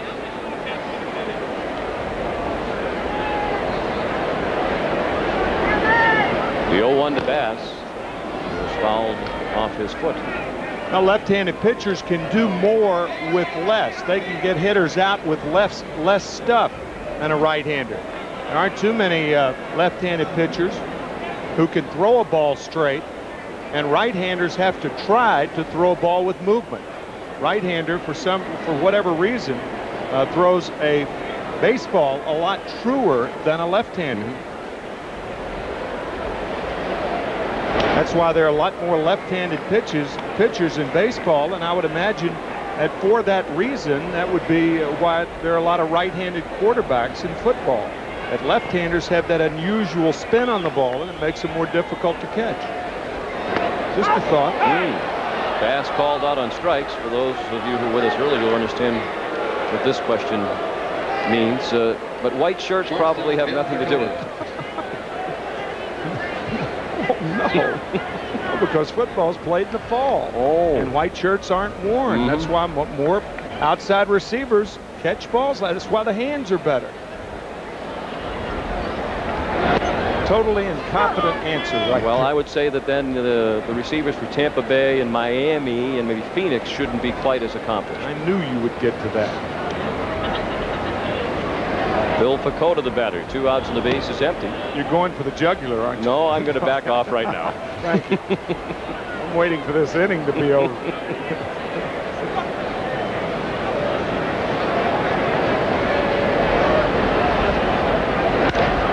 Pecota, a well hit ball to center, but Martinez is there. One, two, three go the Mets in the sixth. We head to the seventh with New York leading by a run. Baseball. Today's game is brought to you by Toyota, reminding you to buckle up. Do it for those who love you. Rolaids. Rolaids spells 100% relief.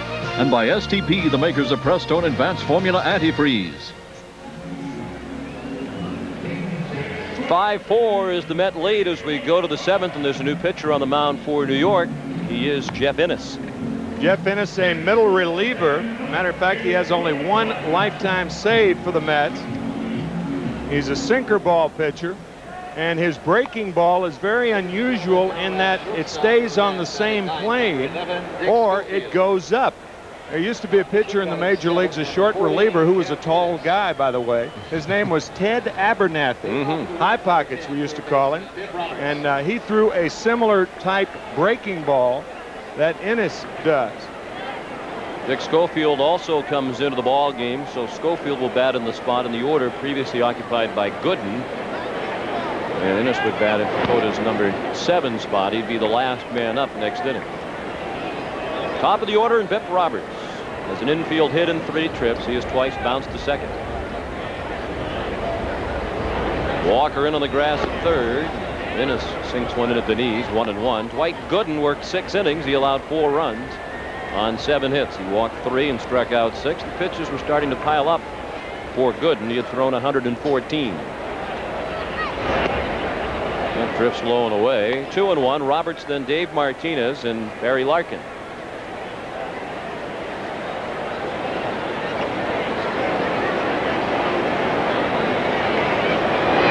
We talked with Lou Piniella yesterday about the Reds and how they've been able to stay on the heels of the Braves despite all the injuries and the Braves hot play. And he said, I don't know where we'd be without Bip Roberts.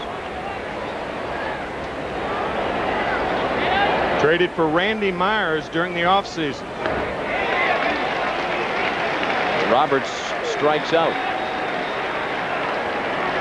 Let's take you around the horn during the seventh inning in the National League. Earlier this week, Deion Sanders announced that he will remain with the Braves for the remainder of the season and miss at least the first six games of the Atlanta Falcons season, perhaps even eight games if the Braves go on to postseason play, although that commitment was not put in writing as far as we understand.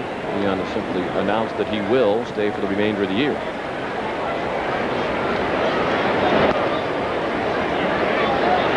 Dave Martinez is the batter. One ball to count. He's 0 for 2 with a walk and a run scored back in the first.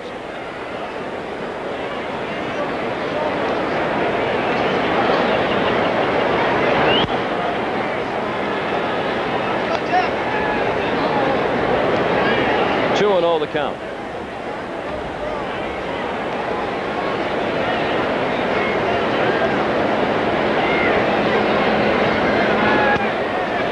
Continuing our trip around the horn in the National League, the nephew of Dwight Gooden, Gary Sheffield. And you mentioned football. He and Doc Gooden uh, went to a football game, an exhibition game, eight days ago in San Diego, the Chargers and the 49ers.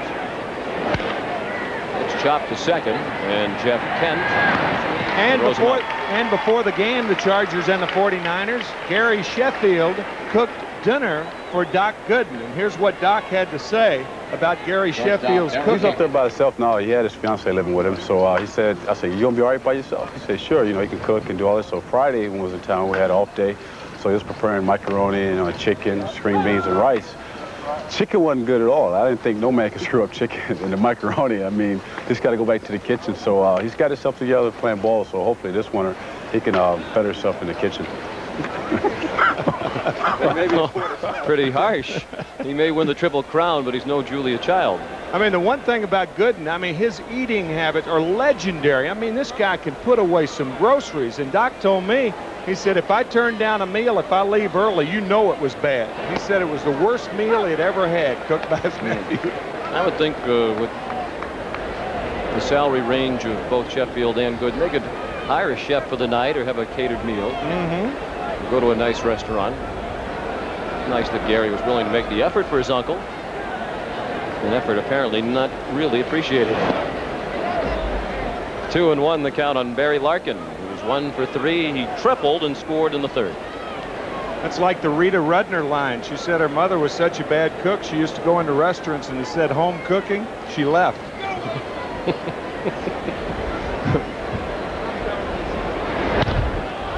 Brogan bat fly ball, shallow right center. Bonilla makes the catch. Innis works a one, two, three inning. Seventh inning stretch at Shea Stadium. The Mets still leading by a run. Hey, everybody, it's time right now. Sean McDonough with Tim McCarver, our producer Rick Lasavita, our director Joe Aceti. As always, we appreciate the assistance of Steve Hurt and Buzz Hannon here in the booth. And all of the men and women will combine to bring you Major League Baseball on CBS on this beautiful Saturday afternoon.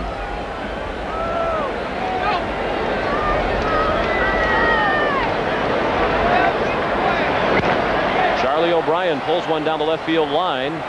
A long run, and Sanders couldn't get there as it's into the stands.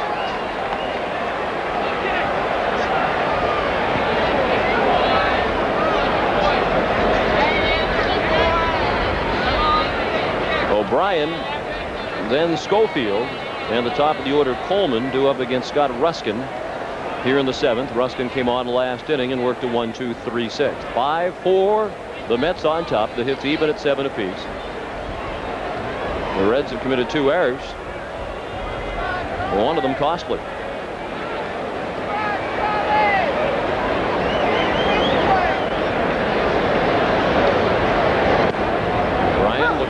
Fastball for a strike. Charlie's one for two. He singled and scored back in the second. The costly error to which Sean referred by Joe Oliver, a two-base error, sending Vince Coleman to third in the fifth inning, and he scored. The fifth Mets run, that's the run that is the difference in the ball game at the moment. Charlie O'Brien, who came in hitting 173, is two for three today, and that's the first hit off Ruskin, the eighth New York hit. Pretty good curveball by Ruskin. So Charlie O'Brien starting one game last night, homered and doubled, and now he has two hits this afternoon. That is the first hit for the Mets since the second inning when they had six of their eight hits. The last hit was the RBI single by Chico Walker in the second. I would imagine Schofield will be bunting here. He is. Ruskin on it quickly, but will go to first to Morris. It's a sacrifice for Schofield to play 1-3. And now a big runner is in scoring position in a one-run game. The Mets on top in the seventh. Up next, center fielder Vince Coleman. The problem with bunting a runner like Charlie O'Brien to second base is that uh, it could still take two hits to scoring. He's not a fast runner. Ruskin uh, getting the sure out at first base. But Charlie O'Brien, keep in mind, is not fast afoot. If you're not a fast runner, you have to take a big lead, a much bigger lead than a, a guy like Vince Coleman would take if he were on second. Vince Coleman's at the plate with a swing and a miss. He's had a good day. He singled to drive in two runs, and he scored in the second. He walked and scored again in the fifth. That was the unearned run. Coleman walked, took third when Oliver tried to pick him off and threw the ball down the right field line, and Coleman scored on a sacrifice fly by Chico Walker. Chopped down to third. It eats up Bip Roberts and goes through into left field. O'Brien can only move up 90 feet.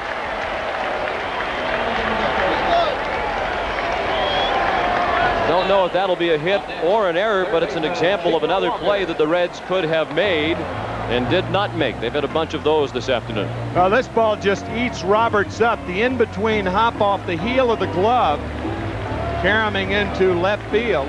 It's funny about baseball. If there were two outs, O'Brien probably scores on that ball, and the Mets have another run. But with one out, you've got to make the ball go through on the left side, and O'Brien ends up at third. It's an error charged to Roberts, the third Cincinnati error of the ball game. Chico Walker is doubled and singled and had a sacrifice fly. Chance for Walker to really have a big day for himself. The middle of the infield is back at double play depth.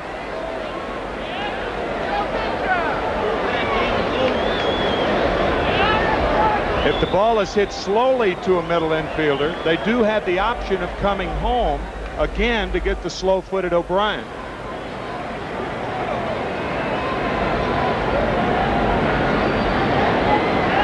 Ruskin to first.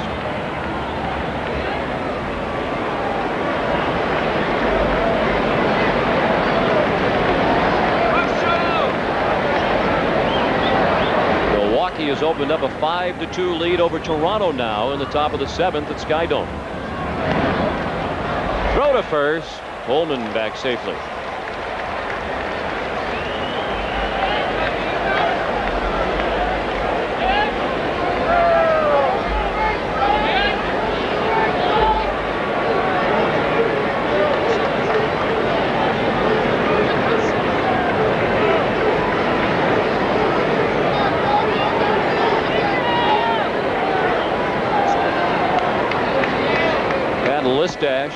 Drove in the first Milwaukee run of that seventh inning at Skydome and scored the other on an error. That's how it got to be 5 to 2 in favor of Milwaukee. The Brewers trying to again climb back under the heels of the Blue Jays. A win this afternoon would quote Milwaukee within three and a half of the front running Jays in the American League East with one game remaining in that series.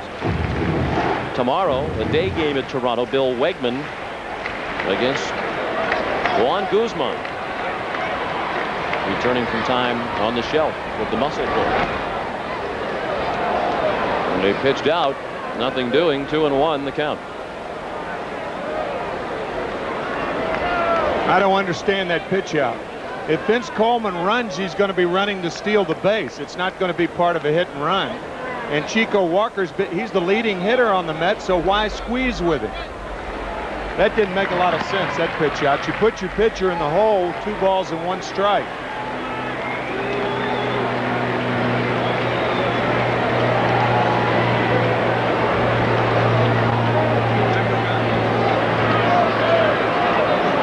We're in the seventh. The Mets trying to build on a 5-4 lead. They have runners at first and third with one out.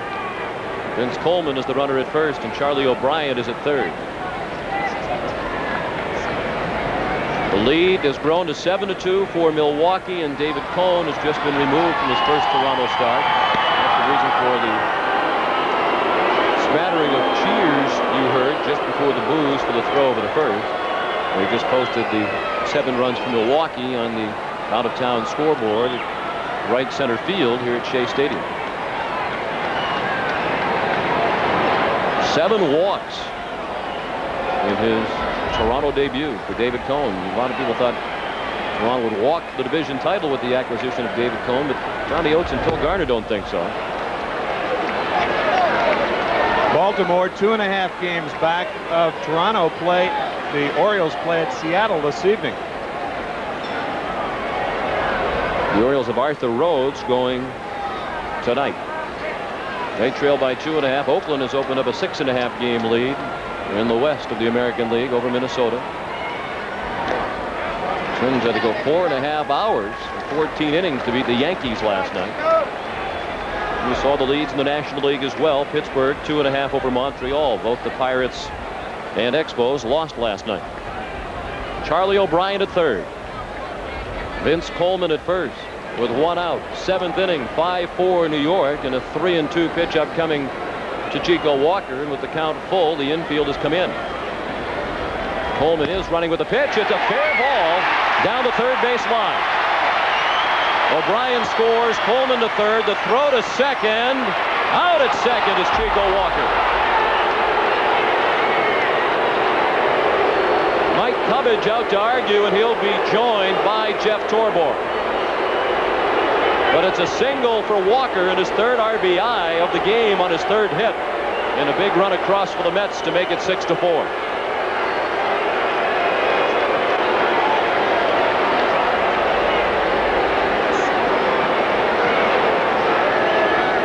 RBI number two, hit number three. Make that RBI number three, hit number three for Chico Walker on the afternoon. Charlie O'Brien had to make sure he scores easily. Vince Coleman stops at third, but a fine play by Reggie Sanders. A strong throw, and it appeared to be a late tag on Walker. Ed Montague punching him out. Walker livid, as was Jeff Torborg and Mike Cubbage, the third base coach. Now batting second. That's a big call. Now there are two outs. And that's potentially with a chance for a big inning. Now it'll take a hit in all likelihood to get that run in from third. Ed Montague has had some very close plays at second base this afternoon. Jeff Kent with a ground ball to short. Larkin stayed down with it and throws him out. Kent now 0 for 4, and the Mets settle for just the one run here in the seventh as Chico Walker is now 8 for his last 14. After 7, the Mets up by 2. Neil Craner, please go to the first gate. Neil Craner. 6-4 New York. As we head to the eighth inning here at Shea Stadium. Hal Morris facing the Reds with a three for three day. He's driven in three of their four runs. The Mets had a big inning in the second against Chris Hammond, four runs on six hits. And Dwight Gooden kind of an up and down start, but he's in line for the win if the bullpen can protect the lead. Jeff Innis pitched one perfect inning. Trying to do what Gooden could not do. Retired Hal Morris, who is lacking only a triple for the cycle this afternoon. Scored two and driven in three. Paul O'Neill to follow, and then Reggie Sanders. Keep in mind the Mets are without the services of John Franco. John Franco will test his ailing elbow next Wednesday. You may even talk in the papers here in New York that if it's not uh, if it's not healthy, that he will think about hanging it up for the rest of the year. Anthony Young has done remarkably well in his absence. Young is not allowed to run in his last 23 and two-thirds innings. That should also quiet the trade talk about John Franco going to the Atlanta Braves. That's been a hot rumor here in New York for days. Morris bidding for his fourth hit. Murray snagged it and Innis for the out. We talked about what a disappointing season this has been for the New York Mets, but really the downward slide began in the second half of last season. These are the worst records among all Major League Baseball teams since July 22nd of last season, 1991. Since that point, the Mets have been the worst team in baseball. Terrible second half last year. Buddy Harrelson was fired. And then Jeff Torborg, the first year of a four-year contract, has uh, suffered at least as bad a fate as Harrelson. Paul O'Neill with a base hit. He's now one for three. The tying run will come to the plate. During the second half of last year, the Mets won only 24 of their last 70 games. That's the first hit off Innis and the Reds' first base runner in an inning and a third against Jeff Innis. We're in the eighth, 6-4 New York. Reggie Sanders, glad to see Gooden out of the ball game. He was 0 for 3 with two strikeouts against Gooden. Joe Oliver is on deck. Ball one runs inside.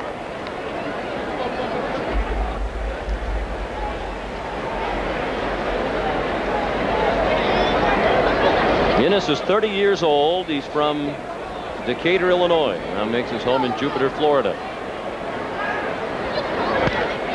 Base hit. And the tying run is aboard. O'Neill to second on the play. Sanders one for four. And the hits in this game are now even at nine apiece. And Jeff Torborg talks with pitching coach Mel Stottlemyre as they have Anthony Young warming up in their bullpen.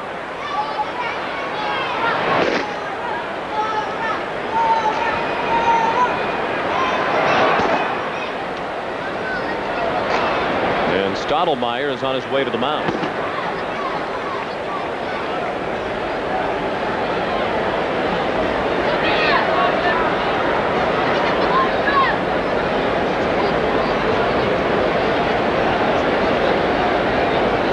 Certainly the Blue Jays pitching staff received a boost in the acquisition of David Cone, although not today with his performance against the Brewers, but they got a lift on Sunday night as well for Mel Stottlemyre's son Todd, who pitched a one-hitter mm-hmm. against the Chicago White Sox. Took a no-hitter into the eighth in that ball game, and it's going to take more than Cone doing well. The rest of that Blue Jay starting staff has really struggled this year, with the notable exception of Juan Guzman.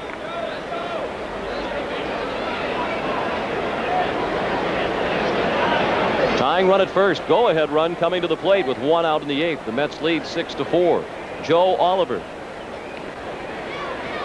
One for three with an RBI double that extended his hitting streak to eight games.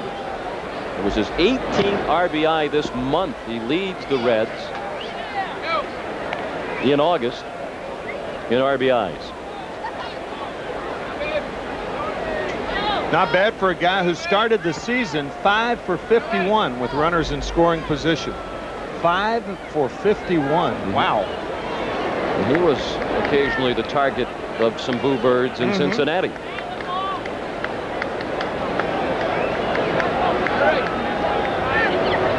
The one strike pitch from Jeff Innis way outside. One ball and one strike. Bill Doran is on deck.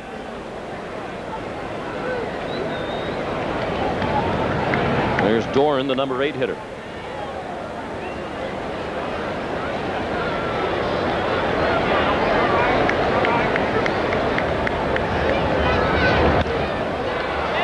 Lifted to shallow center. And Vince Coleman on to make the catch. Two down, runners still at first and second. Remember, we talked about the breaking ball that Jeff Innis throws. It stays on the same plane or goes up. See, when you throw a breaking ball from down that from that far down, the ball cannot go down. The sinker can, but you can't from a uh, from a physics standpoint. You cannot throw a breaking ball that uh, that goes down when your release point is that of a submariner. It's got to either stay on a level plane or go up. Wouldn't that make it easier to hit? Uh, not necessarily. It, uh, because it goes up doesn't mean that it's flat. It may have some bite on the end of it. That really is what a slider is. It's a flat breaking ball with bite on the end.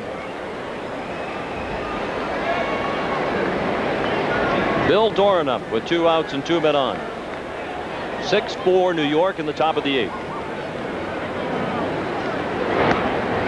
Ball one outside. The pitcher, Scott Ruskin, is on deck.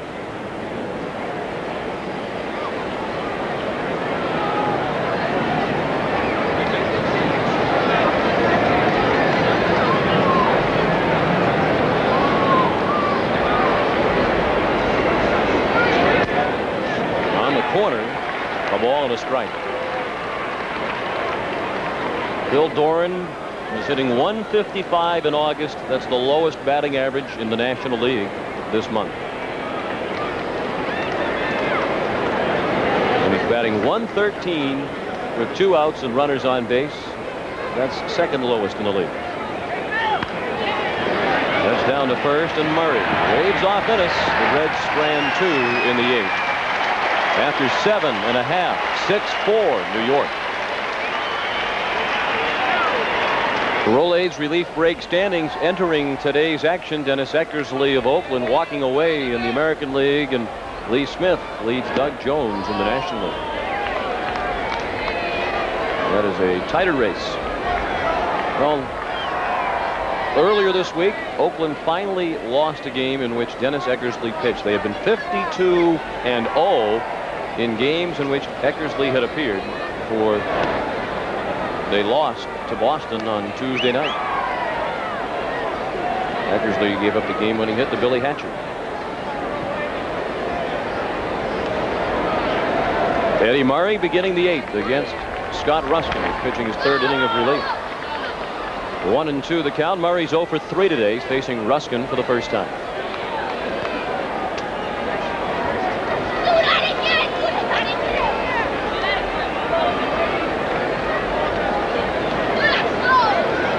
Ruskin will face the middle third of the order. Murray, Bonilla, and Bass. He's trying to keep it the two-run deficit for Cincinnati. They have batters 9, 1, and 2 due up in the top of the ninth. Pitcher Ruskin scheduled, then Robertson Martinez. Coming up after baseball today on CBS, it's live third round coverage of the NEC World Series of Golf from the Firestone Country Club in Akron, Ohio, where Craig Stadler, the leader after two rounds, continues to lead, but now he leads by only one over David Peoples. And Fred Couples has picked up a stroke. He's now two back. That's coming up next here on CBS. It was a hard golf course. That's a major league rough out of which mm. they are mm-hmm. hitting. Lose half a club in that rough. The ball fell among Morris and O'Neill and Doran. They all went in pursuit, but it dropped in foul ground. So Murray is still alive at one and two.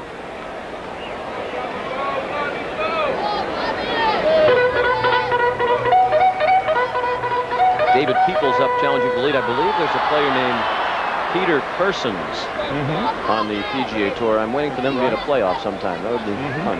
Peoples against Persons.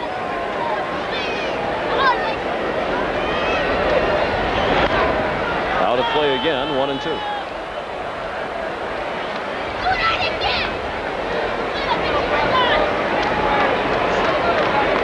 speaking of grass, we mentioned earlier the condition of this field due to the concert here last weekend. The ground crew here deserves a great deal of credit because a couple of days ago when we saw pictures of the field right after the concert, this field was an absolute mess. The fact that it's playable is a credit to those who take care of it, including Pete Flynn, the head groundskeeper, and his staff.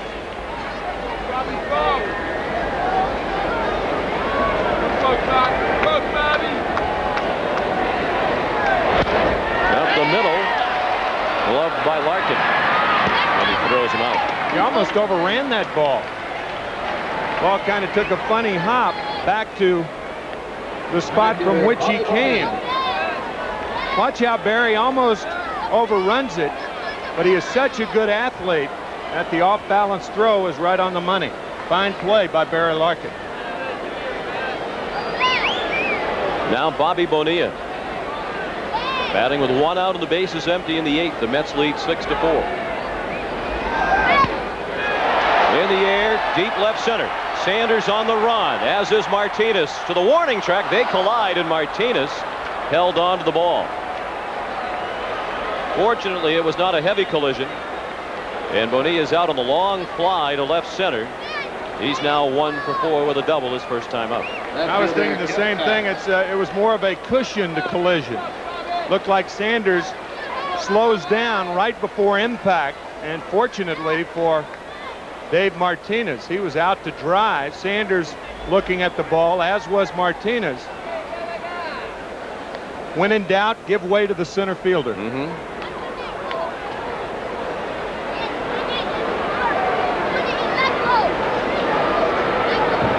And Kevin Bass is the batter. He's over three. He's hit into two double plays and has struck out.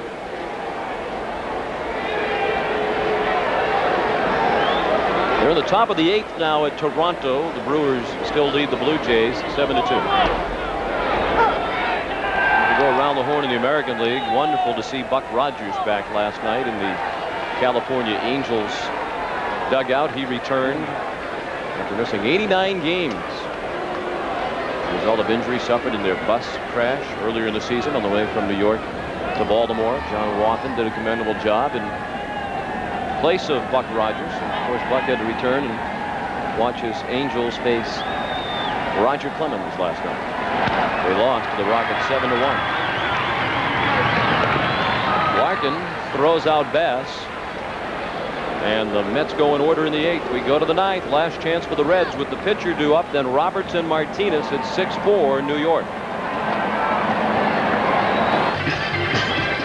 6-4 New York as we go to the ninth. We'll take this opportunity to remind you that this copyrighted telecast is presented by authority of Major League Baseball. It may not be reproduced or retransmitted in any form without the expressed written consent of Major League Baseball. So don't do it. Leading off for the Reds and batting for the pitcher Scott Ruskin. On to protect 15, a two-run lead before the crowd of 28,687 is Anthony Young. And he's on to face a pinch hitter. Glenn Braggs is batting for the pitcher Ruskin. Young's first pitch, the fastball for a strike. Mentioned the remarkable career of Dennis Eckersley, another remarkable year.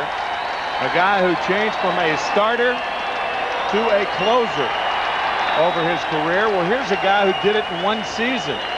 Two and nine as a starter -hmm. And he has 10 saves as a short reliever.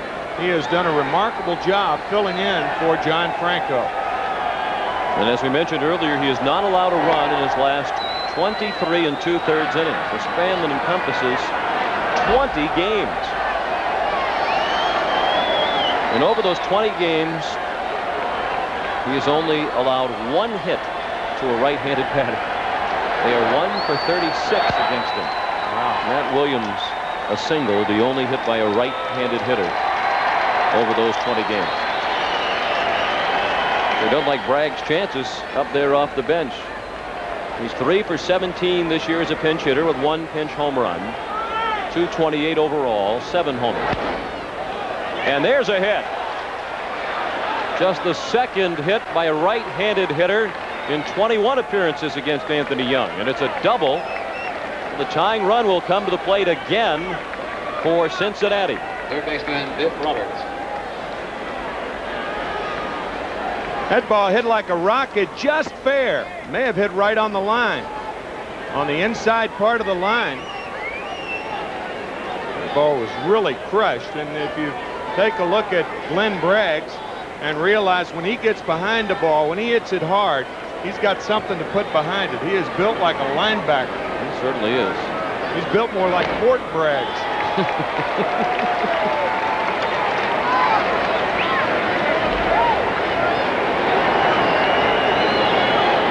Bip Roberts is the batter and one strike to count. Bip one for four today.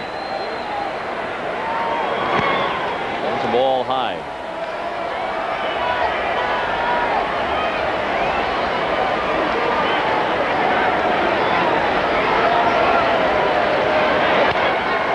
That's out of play and left. We mentioned the attendance here today, 28,000 plus. That's a little bit better than the average crowd of 25,000 plus this year at Shea. And the poor performance of the New York Mets, the attendance has dropped off a bit here. They are about 400,000 fans behind last year's attendance pace. We've watched an entertaining game today, and they're hoping to watch the Mets earn their sixth straight win.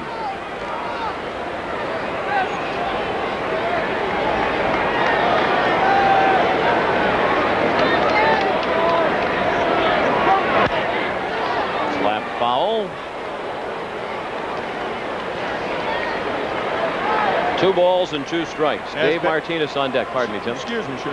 Uh, as bad as the season has been for the Mets, they do have uh, one glowing thing among their numbers. We'll tell you about it after this pitch. Which is ball three. They are 48 and 0 when taking a lead into the ninth inning. They have not lost a game, winning 48 straight times. But uh, Anthony Young in trouble here. Mm -hmm. Danger of walking Roberts and putting the tying run on. Bip sends it to center. Playable for Coleman. Braggs is tagging. The catch is made. Braggs takes third.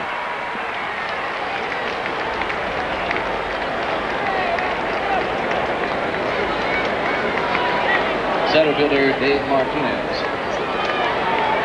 In addition to Young entering the ball game, Jeff Torborg has Dave Gallagher into the game in right field.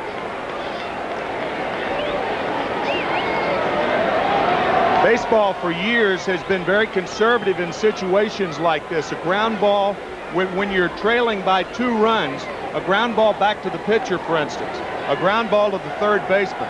If you're on the if you're the runner on third, break for home. Instead of having a an easy play at first base, make the pitcher become involved in a rundown. Martinez on the ground is short. Bragg does break for home, and he scored. But now the Reds are down their final out, still trailing by a run. The run scored by Braggs makes it six to five. Yeah, and that run, uh, for the most part, is meaningless unless it leads to the second run. But baseball for years is saying, hey, you got to be cautious. You're trailing by two runs. See? That's out number two, and it's also the first run off Anthony Young in 24 in the third inning. And his scoreless inning streak comes to an end. That's only when you're trailing, by the way, uh, by two runs. You wouldn't try it when you're trailing by one. But uh, if you're trailing by two or more, no sense in allowing a pitcher to make an easy play. Make him make a difficult play, and usually the tag play is more difficult than the force out. Barry Larkin trying to keep the Reds alive against Anthony Young.